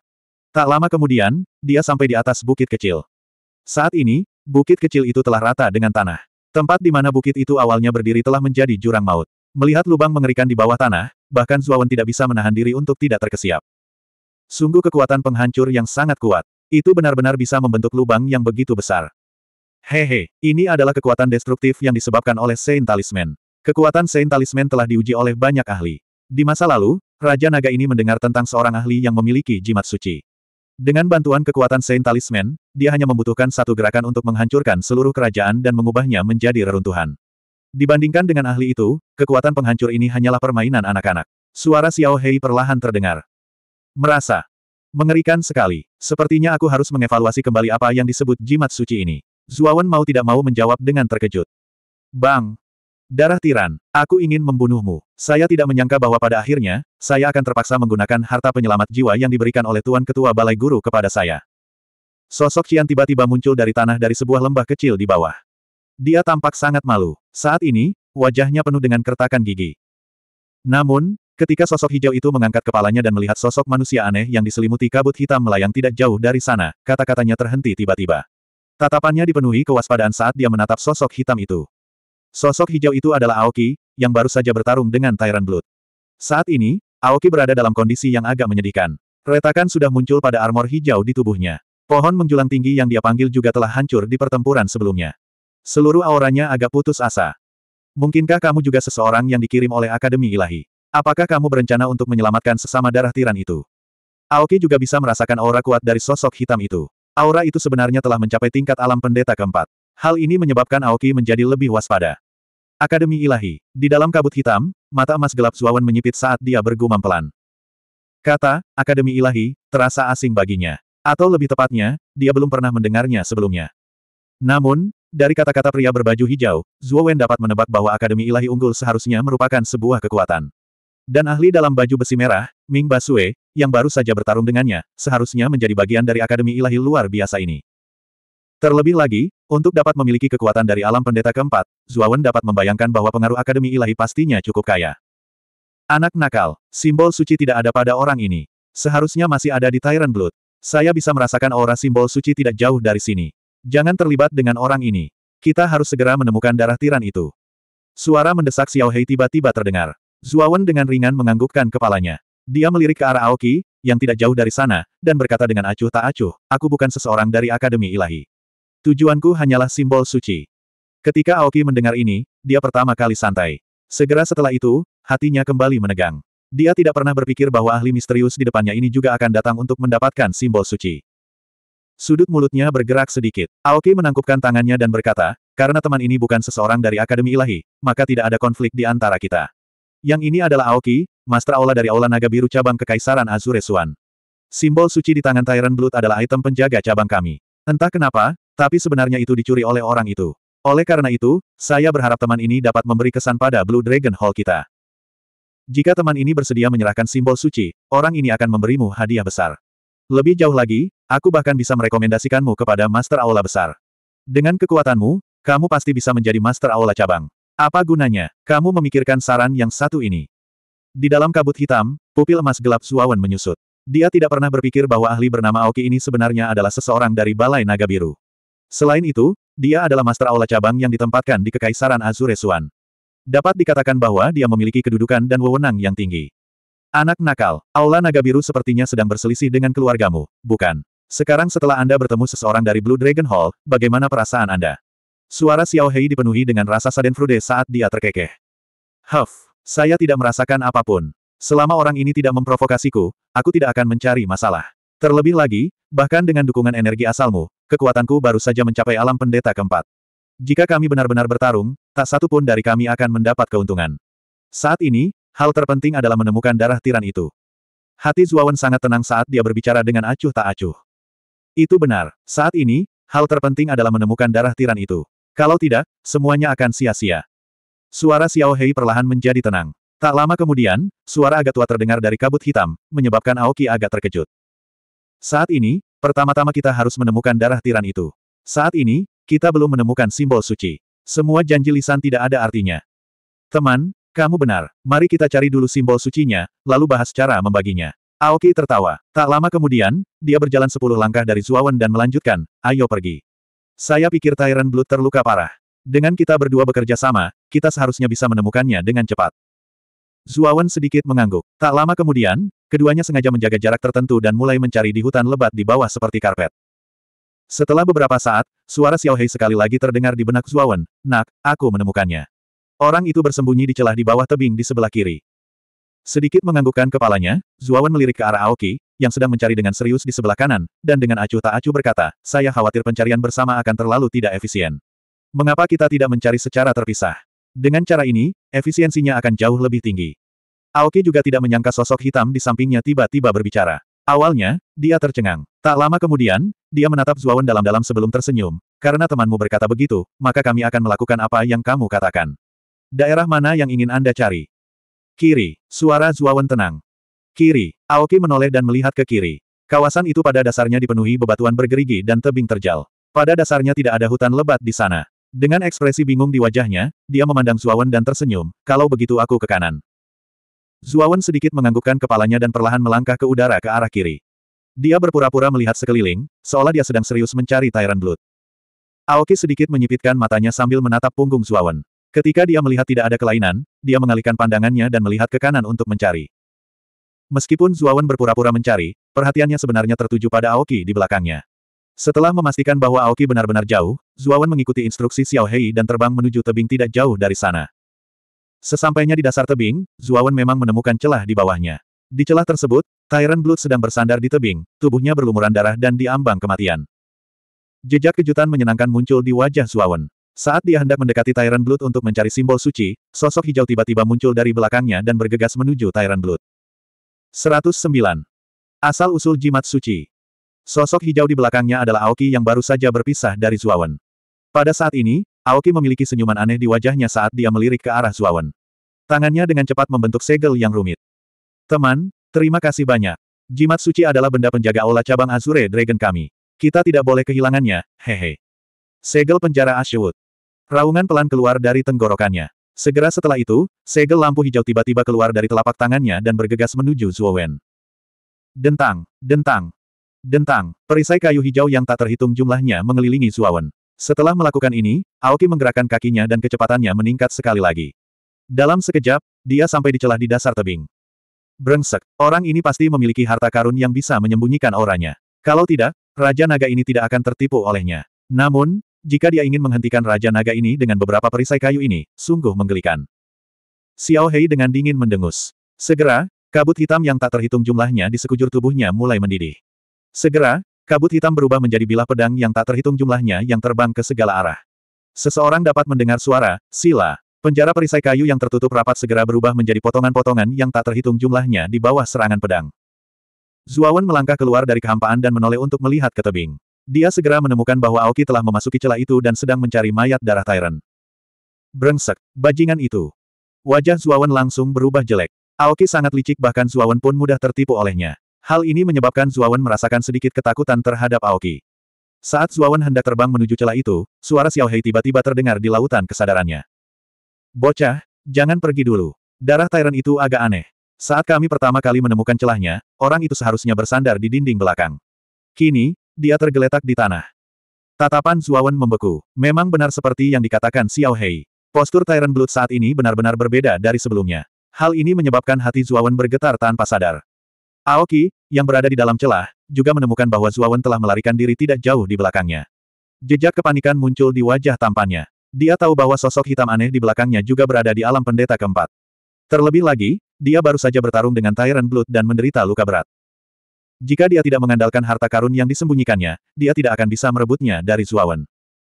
Justru karena kepanikan di hatinya, Aoki tidak menemukan kelainan pada postur Tyrant Blood. Dia mengira Tyrant Blood sudah benar-benar mati, jadi dia tidak waspada terhadapnya. Saat perhatian Aoki terfokus pada Zuawan di belakangnya, Tyrant Blood, yang berlumuran darah seperti mayat, tiba-tiba membuka matanya. Sudut mulutnya menunjukkan sedikit senyuman aneh. Segera setelah itu, bola energi lima warna seukuran ibu jari tiba-tiba muncul di telapak tangannya. Aoki, pergilah ke neraka. Mata Tyrant Blood sedikit melotot. Dengan raungan liar, telapak tangannya menghantam dada Aoki dengan keras. Bola energi lima warna di telapak tangannya meledak dengan keras. Ledakan ini sepertinya merupakan semacam reaksi berantai, dan suara gemuruh yang tumpul terdengar terus-menerus. Gemuruh. Rangkaian ledakan terus bergema di dada Aoki. Dengan ledakan terakhir, armor hijau di permukaan tubuh Aoki tiba-tiba hancur sedikit demi sedikit, berubah menjadi bubuk halus. Di bawah serangan ini, lubang berdarah seukuran telapak tangan tercipta di dadanya. Lubang berdarah itu benar-benar menembus dadanya. Di belakangnya, Zuawan bahkan bisa melihat wajah Tyrant Blood yang pucat dan tak berdaya, tapi dengan senyuman puas. Bisa. Darah merah ceri langsung muncrat dari mulut Aoki. Wajah Aoki juga tak bernyawa saat dia melihat Tyrant Blood yang tampak menyeramkan di depannya. Sebuah suara tajam tiba-tiba keluar dari mulut Aoki. Ah, Tyrant Blood, kamu benar-benar berani menyerangku secara diam-diam. Aku akan membunuhmu. Mata Aoki tiba-tiba menjadi sangat merah. Dia dengan paksa mengedarkan kekuatan Yuan di tubuhnya untuk menghentikan luka di dadanya. Segera setelah itu, tangan kanannya terulur dengan kuat seperti ular. Cahaya hijau memenuhi udara dan berubah menjadi tanaman merambat lebat, yang dilemparkan ke arah kepala Tyrant Blood. Mengangkat tangan kanannya, Tyrant Blood menggunakan tangannya untuk memblokir serangan ini. Segera setelah itu, tangan kirinya menghantam dinding tebing dengan keras. Dengan suara gemuruh, retakan di tebing tiba-tiba runtuh sedikit demi sedikit di bawah serangan kuat Tyrant Blood. Aoki, bahkan jika aku mati, aku tidak akan memberikan jimat suci kepadamu. Tyrant Blood memuntahkan seteguk darah. Setelah tertawa nakal, dia justru menghentakkan kakinya dan melompat ke jurang tak berujung di bawah tebing. Melihat Tyrant Blood yang tiba-tiba jatuh ke dalam jurang, hati Aoki dipenuhi amarah. Dia sekali lagi memuntahkan seteguk darah. Serangan Tyrant Blood barusan bukanlah serangan biasa. Dia telah menggunakan kekuatan jimat suci api es untuk secara paksa menggabungkan dua kekuatan ekstrim menjadi energi ledakan. Meski hanya seukuran ibu jari, kekuatannya cukup untuk melukai empat ahli alam terhormat. Selanjutnya, Aoki tertangkap basah dan dengan paksa menerima serangan ini. Cedera internalnya jelas jauh lebih serius dari yang dia bayangkan. Sambil memegangi luka di dadanya, Aoki dengan takut melirik sosok hitam yang diam tidak jauh dari situ. Dia tahu bahwa dalam kondisinya saat ini, mustahil baginya untuk memasuki jurang maut untuk mencari darah tiran. Selain itu, ada ahli alam terhormat yang sudah pulih sepenuhnya di depannya. Dia tahu bahwa rencananya untuk mendapatkan jimat suci kali ini telah gagal. Teman ini, Anda sebaiknya tidak memiliki gagasan apa pun tentang jimat suci. Jika tidak, kemarahan Ola Naga Biru bukanlah sesuatu yang bisa Anda tanggung sendiri. Ekspresi Aoki dipenuhi kengganan. Namun, bahkan dalam kondisinya saat ini, mustahil baginya untuk mencapai dasar tebing. Saat ini, dia hanya bisa memperingatkan Zuawan bahwa yang terbaik baginya adalah tidak mengambil tindakan untuk merebut jimat suci. Saat ini kamu sudah terluka parah, namun kamu masih berani sombong di hadapanku. Apakah kamu benar-benar berpikir aku tidak berani membunuhmu? Zuawan maju selangkah, dan kabut hitam di sekitarnya segera melonjak. Ekspresi Aoki terkejut, dan langsung menjadi tidak sedap dipandang. Ia mendengus dingin dan berkata, sepertinya teman ini benar-benar ingin mempersulit balai naga biru kita. Namun, jika kau ingin membunuhku, aku khawatir kau tetap tidak bisa melakukannya. Namun, aku akan mengingatnya Anda. Aoki menatap Zuawan dalam-dalam, dan segera membentuk segel dengan kedua tangannya. Lampu hijau segera menyelimuti seluruh tubuhnya, dan lampu hijau yang menyelimuti Aoki langsung menghilang di depan mata Zuawan tanpa bekas. Ini, Zuawan agak terkejut ketika dia melihat ke arah Aoki, yang sudah benar-benar menghilang di depannya. Ini adalah Wood Escape, keterampilan jiwa yang unik untuk jiwa pelindung tipe kayu. Selama ada tanaman tipe kayu dalam jarak seribu mil, dia dapat menggunakan Wood Escape untuk berteleportasi ke lokasi mana pun dalam jarak seribu mil. Saya khawatir orang itu sudah ribuan mil jauhnya. Bahkan jika kita ingin mengejarnya, kita tidak akan bisa mengejarnya. Suara malas Xiao Hei sekali lagi terdengar di benaknya. Keterampilan jiwa ini sangat tidak normal. Bukankah itu berarti orang ini tidak bisa dibunuh? Dengan keterampilan melarikan diri seperti ini, bahkan jika ahli yang lebih kuat darinya turun, mereka tidak akan bisa melakukan apa pun padanya. Zuawan berkata dengan heran. Meskipun Wood Escape mudah digunakan, efek sampingnya sangat besar. Selain itu, batasannya juga sangat kecil. Jika tidak ada tanaman atau sejenisnya dalam jarak ribuan mil, rangkaian keterampilan jiwa ini sama sekali tidak berguna. Oleh karena itu, dia tidak senormal yang kamu kira. Ketika Zuawan mendengar ini, dia langsung mengerti. Dia mengangguk sedikit dan melihat ke bawah ke dalam jurang yang gelap gulita. Dia berkata dengan jelas, aku khawatir simbol suci masih berada di tangan darah tiran. Apakah kita masih akan turun untuk mencarinya? Tentu saja kita menginginkannya. Kalau tidak, bukankah kekuatan sumber asal Raja Naga ini akan sia-sia? Kita harus mendapatkan jimat suci. Bocah, jangan bersikap dingin. Suara Xiao Hei tiba-tiba menjadi bingung dan jengkel saat dia berbicara. Baiklah, karena Anda sedang mencarinya, tentu saja saya tidak akan mundur pada menit-menit terakhir. Ini seharusnya adalah tebing langit absolut. Itu adalah zona bahaya yang terkenal di Fin Armor City. Di bawah tebing langit absolut terdapat wilayah dalam hutan pemusnahan yang berbahaya. Wilayah dalam hutan pemusnahan tidak seberbahaya wilayah luar. Ada banyak makhluk jiwa kelas 2 di wilayah dalam. Mereka dapat ditemukan di mana-mana. Bahkan ada makhluk jiwa kelas 3 yang muncul di wilayah dalam. Terlebih lagi, aku pernah mendengar bahwa makhluk jiwa kelas 4 telah muncul di wilayah dalam. Itu adalah eksistensi yang sebanding dengan seniman bela diri alam kaisar tertinggi. Kita harus ekstra hati-hati saat masuk. Zuawan melihat ke bawah ke jurang dan berbicara dengan nada serius. Selama kita berhati-hati, kita tidak akan berada dalam bahaya yang terlalu besar. Terlebih lagi, Tyrant Blue telah menggunakan kekuatan simbol suci berkali-kali dan mengalami luka fatal di tubuhnya. Dia sudah berada di ujung tali. He seharusnya tidak bisa lari jauh. Xiao Hei berkata dengan sungguh-sungguh. Zuawan sedikit mengangguk. Kemudian, di bawah bimbingan kekuatan asal Xiao Hei, mereka perlahan turun ke dalam jurang. Jurang yang dalam dipenuhi kabut putih tebal. Itu tidak bercampur dengan baik dengan kabut hitam pekat di sekitar Zuawan. Selain itu, Zuawan dapat merasakan bahwa semakin dekat mereka ke dasar, semakin rendah suhunya. Gelombang udara dingin terus berkumpul di sekitar kabut hitam, seolah ingin menyerbu kabut hitam. Dengan terisolasinya kekuatan asal Xiao Hei, Zuawan tidak khawatir tentang serangan udara dingin dari jurang. Setelah melihat sekeliling, Zuawan menyadari bahwa itu adalah hamparan putih yang luas. Selain itu, dia tidak menemukan kelainan apa pun. Saat itulah Zuawan merasa lega.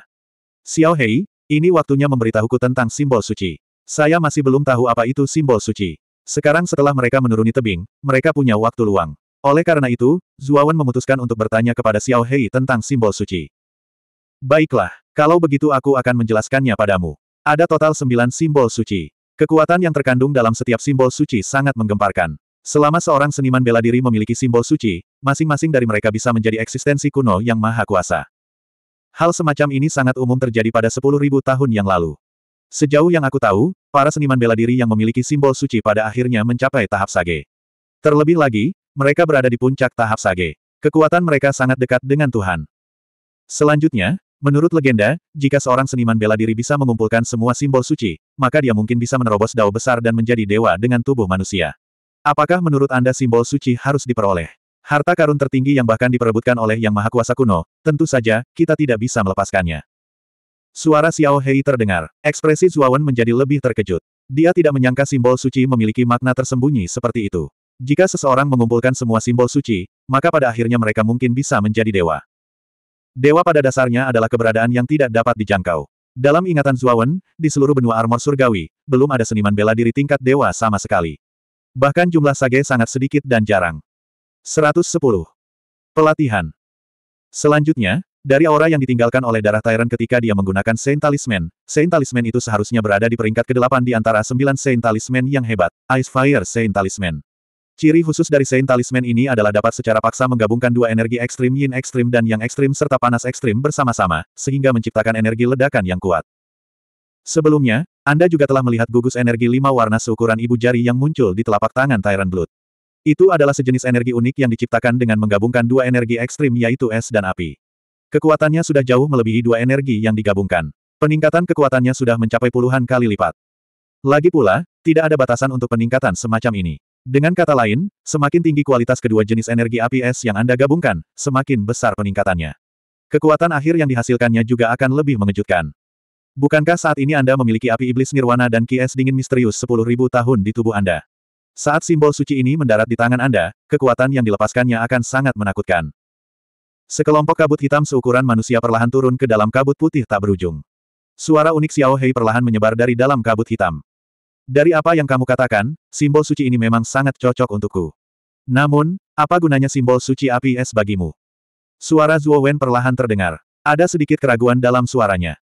Kegunaan sembilan simbol suci yang agung bukan hanya tentang kekuatannya yang aneh dan tak terduga. Kegunaan utama lainnya adalah setiap simbol suci mempunyai kemampuan untuk menyehatkan jiwa seseorang dan menggumpalkan energi mental seseorang. Justru karena efek inilah naga ini kakek tidak segan-segan menggunakan kekuatan esensinya untuk mendapatkannya. Jadi simbol suci ternyata punya efek seperti itu. Kalau begitu, selain bisa memulihkan jiwamu, simbol suci juga bisa membantuku meningkatkan energi mentalku. Telinga Zuawan meninggi saat mendengar ini. Wajahnya menunjukkan kegembiraan. Lagi pula, dia berlatih bela diri dan energi mental. Jika simbol suci benar-benar mempunyai efek seperti itu, pelatihan energi mentalnya di masa depan akan jauh lebih mudah. Itu wajar saja. Bagaimanapun, para alkemis dari 10.000 tahun yang lalu sangat ingin mendapatkan jimat suci. Bagaimanapun, jimat suci sangat bermanfaat bagi para alkemis yang menggunakan kekuatan mental mereka. Meskipun Anda bukan seorang alkemis, namun budidaya seorang arcanis tidak jauh berbeda dengan seorang alkemis. Jimat suci secara alami akan sangat bermanfaat bagi Anda. Xiao Hei berkata tanpa basa-basi. Ketika Zuawan mendengar ini, dia berpikir keras. Namun, ada sedikit antisipasi di matanya. Setelah mendengar Xiao Hei menjelaskan berbagai manfaat jimat suci, Zuawan sangat tergoda. Pada saat ini, Zuawan tiba-tiba merasa kabut hitam pekat di sekelilingnya tampak perlahan memudar. Dinginnya jurang maut juga merembes melalui celah kabut hitam. Zuawan sedikit menggigil dan berteriak, Xiao Hei, apa yang terjadi? Mengapa kabut hitam menghilang? Eh, itu, energi asal yang saya berikan hampir habis. Agak sulit mempertahankan kabut hitam di luar. Suara Xiao Hei di benaknya tiba-tiba terdengar sedikit bersalah. Maksudmu aku tidak akan bisa mempertahankan kondisiku saat ini dalam waktu lama. Sebuah firasat buruk tiba-tiba muncul di hatinya dan dia berkata dengan keras. Bukannya kamu tidak akan bisa mempertahankannya dalam waktu lama. Saat Xiao Hei mengatakan ini, Zuawan segera merasakan kabut hitam di sekelilingnya menghilang sepenuhnya. Aura kuat di tubuhnya, yang sebanding dengan ahli empat alam pendeta, segera mundur seperti air pasang. Zuawan hanya merasakan tubuhnya menjadi ringan dan seluruh tubuhnya tiba-tiba jatuh ke bawah dengan cepat. Sial, Xiao Hei, kamu anjing yang tidak bisa diandalkan, Xiao Hei, sialan. Zuawan hanya sempat mengutuk sebelum seluruh tubuhnya jatuh ke bawah seperti meteorit. Dia bukan ahli empat alam pendeta dan tidak bisa berjalan di udara. Mereka yang bisa berjalan di udara setidaknya berada di alam kaisar tertinggi, tidak seperti dia, yang baru saja berada di alam kekosongan yin. Penurunan cepat yang tidak berbobot dan erosi di udara yang sangat dingin di sekitarnya hampir membuat Zuawan kehabisan napas. Untungnya, pikirannya cukup jernih. Dia menepuk tas penyimpanan dengan tangan kanannya dan mengeluarkan pedang yang berkarat dan patah. Tangannya mencengkeram gagang pedang itu erat-erat dan tiba-tiba dia menusukkannya ke dinding batu di sampingnya. Yang mengejutkan Zuawan adalah pedang yang tampak biasa ini sebenarnya sangat tajam. Dalam sekejap, seluruh pedang itu dimasukkan ke dalam dinding batu. Mendesis. Mendesis. Gesekan antara pedang lebar dan dinding batu menghasilkan percikan api yang tak terhitung jumlahnya yang sangat menyilaukan. Tubuh Zuawan tergelincir di dinding batu sekitar 10 meter sebelum dia hampir tidak bisa menahan diri. Dia tidak bisa menahan diri untuk tidak memuntahkan seteguk darah. Nak, kamu baik-baik saja. Setelah dia berhasil menghentikan dirinya, suara bersalah Xiao Hei tiba-tiba terdengar di benaknya. Bisakah kamu lebih bisa diandalkan di masa depan? Anda hampir membuat saya terbunuh. Meskipun Zuawan tahu bahwa Xiao Hei tidak melakukannya dengan sengaja, pengalaman barusan hampir merenggut nyawanya. Lagi pula, dia tidak tahu seberapa dalam jurang ini. Dengan kekuatannya saat ini, jika dia benar-benar jatuh ke tanah, dia pasti akan berubah menjadi daging cincang. Hehe, saya tidak melakukannya dengan sengaja. Bagaimanapun, saya hanya memiliki tubuh rohani yang rusak. Tidak banyak energi asal yang tersisa di dalamnya. Kali ini, saya telah menggunakan semuanya untuk meningkatkan kekuatan Anda untuk sementara. Akan sulit bagi saya untuk pulih tanpa waktu beberapa bulan. Xiao Hei tertawa canggung. Suaranya cukup tulus. Mendengar kata-kata tulus Xiao Hei, kemarahan di hati Zuawan mereda. Dia mengangkat bahu dan berkata dengan agak tak berdaya, sekarang aku tergantung di sini, ada hamparan putih luas di sekitarku. Aku tidak bisa melihat apa pun.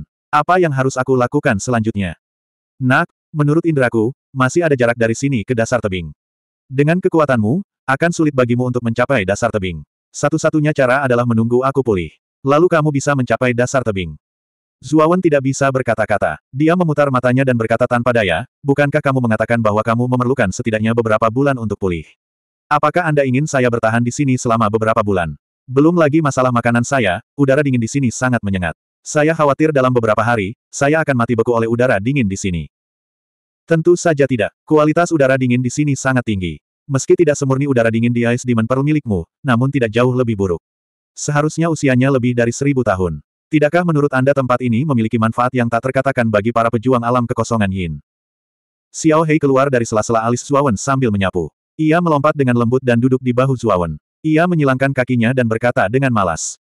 Para pejuang alam kekosongan Yin tidak dapat hidup tanpa udara dingin. Udara dingin di sini memang bagus. Namun, setelah lama tinggal di sini, saya masih tidak tahan dengan udara dingin di sini. Lagi pula, jika-jika ada terlalu banyak udara dingin, itu akan lebih merugikan daripada menguntungkan para pejuang alam kekosongan Yin. Zuawan sedikit mengangguk dan membantah. Jika kamu tidak mampu menahan erosi ki dingin, kamu dapat mengeluarkan mutiara iblis-iblis jahat dari tas kosmosmu.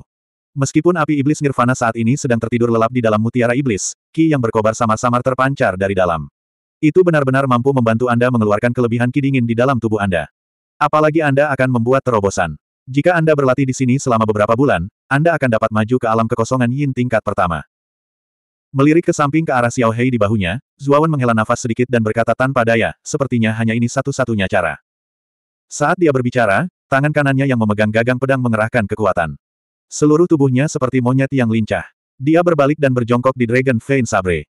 Pedang pembuluh darah naga setinggi manusia dan selebar telapak tangan. Zuawan langsung duduk bersila di atas pedang, yang memang pas. Setelah duduk dengan mantap, Zuawan menutup matanya dan mulai mengedarkan kekuatan Yuan di tubuhnya secara diam-diam. Dia diam-diam berkultivasi begitu saja. Waktu berlalu. Dalam sekejap mata, lebih dari dua bulan telah berlalu. Tebing Tianjue adalah tempat berbahaya yang terkenal di kota Fin Armor. Tempat ini terpencil dan terpencil. Hampir tidak ada orang yang lewat. Suatu hari, dua sosok muncul di dekat tebing Tianjue. Kedua sosok itu, satu tua dan satu lagi muda. Lelaki tua itu mengenakan gaun panjang dan membawa keranjang obat bambu di bahunya. Dia sedang menatap gadis muda yang lincah di depannya dengan wajah ramah. Gadis muda itu mengenakan gaun bersulam dan rok panjang berwarna putih mutiara. Dia tampak berusia sekitar 15 atau 16 tahun. Dia juga membawa keranjang obat bambu di bahu mungilnya. Gadis muda itu melompat beberapa kali di depannya, lalu berbalik dan tersenyum main-main pada lelaki tua di belakangnya, kakek. Kamu sangat lambat. Jika Anda tidak bergegas, Anda tidak akan bisa memetik tanaman obat saat matahari terbenam. Kamu gadis kecil, kakekmu sudah menjadi sekantung tulang tua. Bagaimana aku bisa membandingkannya dengan gadis muda sepertimu? Kamu harus berhati-hati. Ini tebing Tianjue, bukan bukit biasa. Lelaki tua itu tersenyum dan kemudian dengan sungguh-sungguh memperingatkan gadis muda itu. Oke, aku tahu. Namun tanaman herbal di sini jauh lebih melimpah dibandingkan yang kami kunjungi sebelumnya. Tawa gadis muda yang seperti lonceng bergema di tebing dari waktu ke waktu. Ai, jika bukan karena adik gadis ini membutuhkan Ichi Snow Lotus, saya tidak akan mengambil risiko untuk mencarinya di tebing Tianjue. Sayangnya, Ichi Snow Lotus hanya bisa ditemukan di tebing Tianjue. Melihat gadis muda di depannya yang tertawa tanpa henti, lelaki tua itu menghela nafas dan berkata pada dirinya sendiri tanpa daya. Di depannya, mata besar berair gadis muda itu dipenuhi rasa ingin tahu saat dia melihat ke kiri dan ke kanan. Tebing Tianjue memang memiliki beragam tanaman herbal. Namun, gadis muda itu tahu bahwa tujuan mereka kali ini tidak sesederhana memetik tanaman obat. Mereka perlu menemukan Ichi Snow Lotus. Bagaimanapun, adiknya masih di rumah menunggu untuk diselamatkan. Memikirkan adik perempuannya yang sakit di rumah, senyuman di wajah gadis muda itu berangsur-angsur menghilang. Jejak tekad muncul di wajahnya. Dia harus menemukan Ichi Snow Lotus untuk adiknya dan membiarkannya lepas dari penyakitnya. Eh, itu adalah... Saat gadis muda itu sedang berjalan, matanya yang indah melihat sekeliling dan tiba-tiba melihat kelopak bunga berwarna biru es di dasar tebing tidak jauh dari situ. Dia buru-buru berlari dan melihat ke bawah. Bunga biru sedingin es mekar di depan matanya. Kelopak bunganya berwarna biru sedingin es dan jejak udara dingin keluar dari kelopaknya. Teratai salju es. Mata indah gadis muda itu berbinar dan dia berkata pada dirinya sendiri dengan heran. Namun, lokasi Ichi Snow Lotus cukup jauh. Itu sebenarnya berada di atas batu yang menonjol 3 meter di bawah tebing. Jika dia ingin memetik teratai salju, dia harus menginjak batu itu untuk dapat mencapainya. Melihat jurang putih tak berdasar di bawah batu, sedikit ketakutan muncul di wajah gadis muda itu. Namun, Memikirkan adiknya yang terbaring di tempat tidur di rumah, mata gadis muda itu sekali lagi bersinar dengan cahaya yang penuh tekad. Sambil menarik napas dalam-dalam, gadis muda itu berpegangan pada batu di tepi tebing. Kaki kanannya dengan ringan menginjak batu di dasar tebing. Setelah kaki kanannya menginjak batu dengan kuat, gadis muda itu berpegangan pada batu di tepi tebing dengan tangan kanannya untuk menopang tubuhnya. Tangan kirinya terulur untuk memetik ichi snow lotus yang tumbuh di atas batu. Jejak keringat dingin terus mengalir di dahi gadis muda itu. Setelah berjuang cukup lama, gadis muda itu akhirnya meraih Ichi Snow Lotus di atas batu dengan tangannya. Jejak kegembiraan segera muncul di wajahnya. Saat ini, udara putih dan dingin di jurang di dasar tebing tiba-tiba mulai bergejolak. Seolah-olah seseorang sedang mengaduk udara dingin di bawah tanah. Gadis muda itu juga memperhatikan ketidaknormalan udara dingin di dasar tebing. Dia dengan penasaran melihat ke bawah dan melihat udara dingin di dasar tebing berkumpul di satu tempat. Sesosok tubuh kurus perlahan muncul di garis pandang gadis muda itu.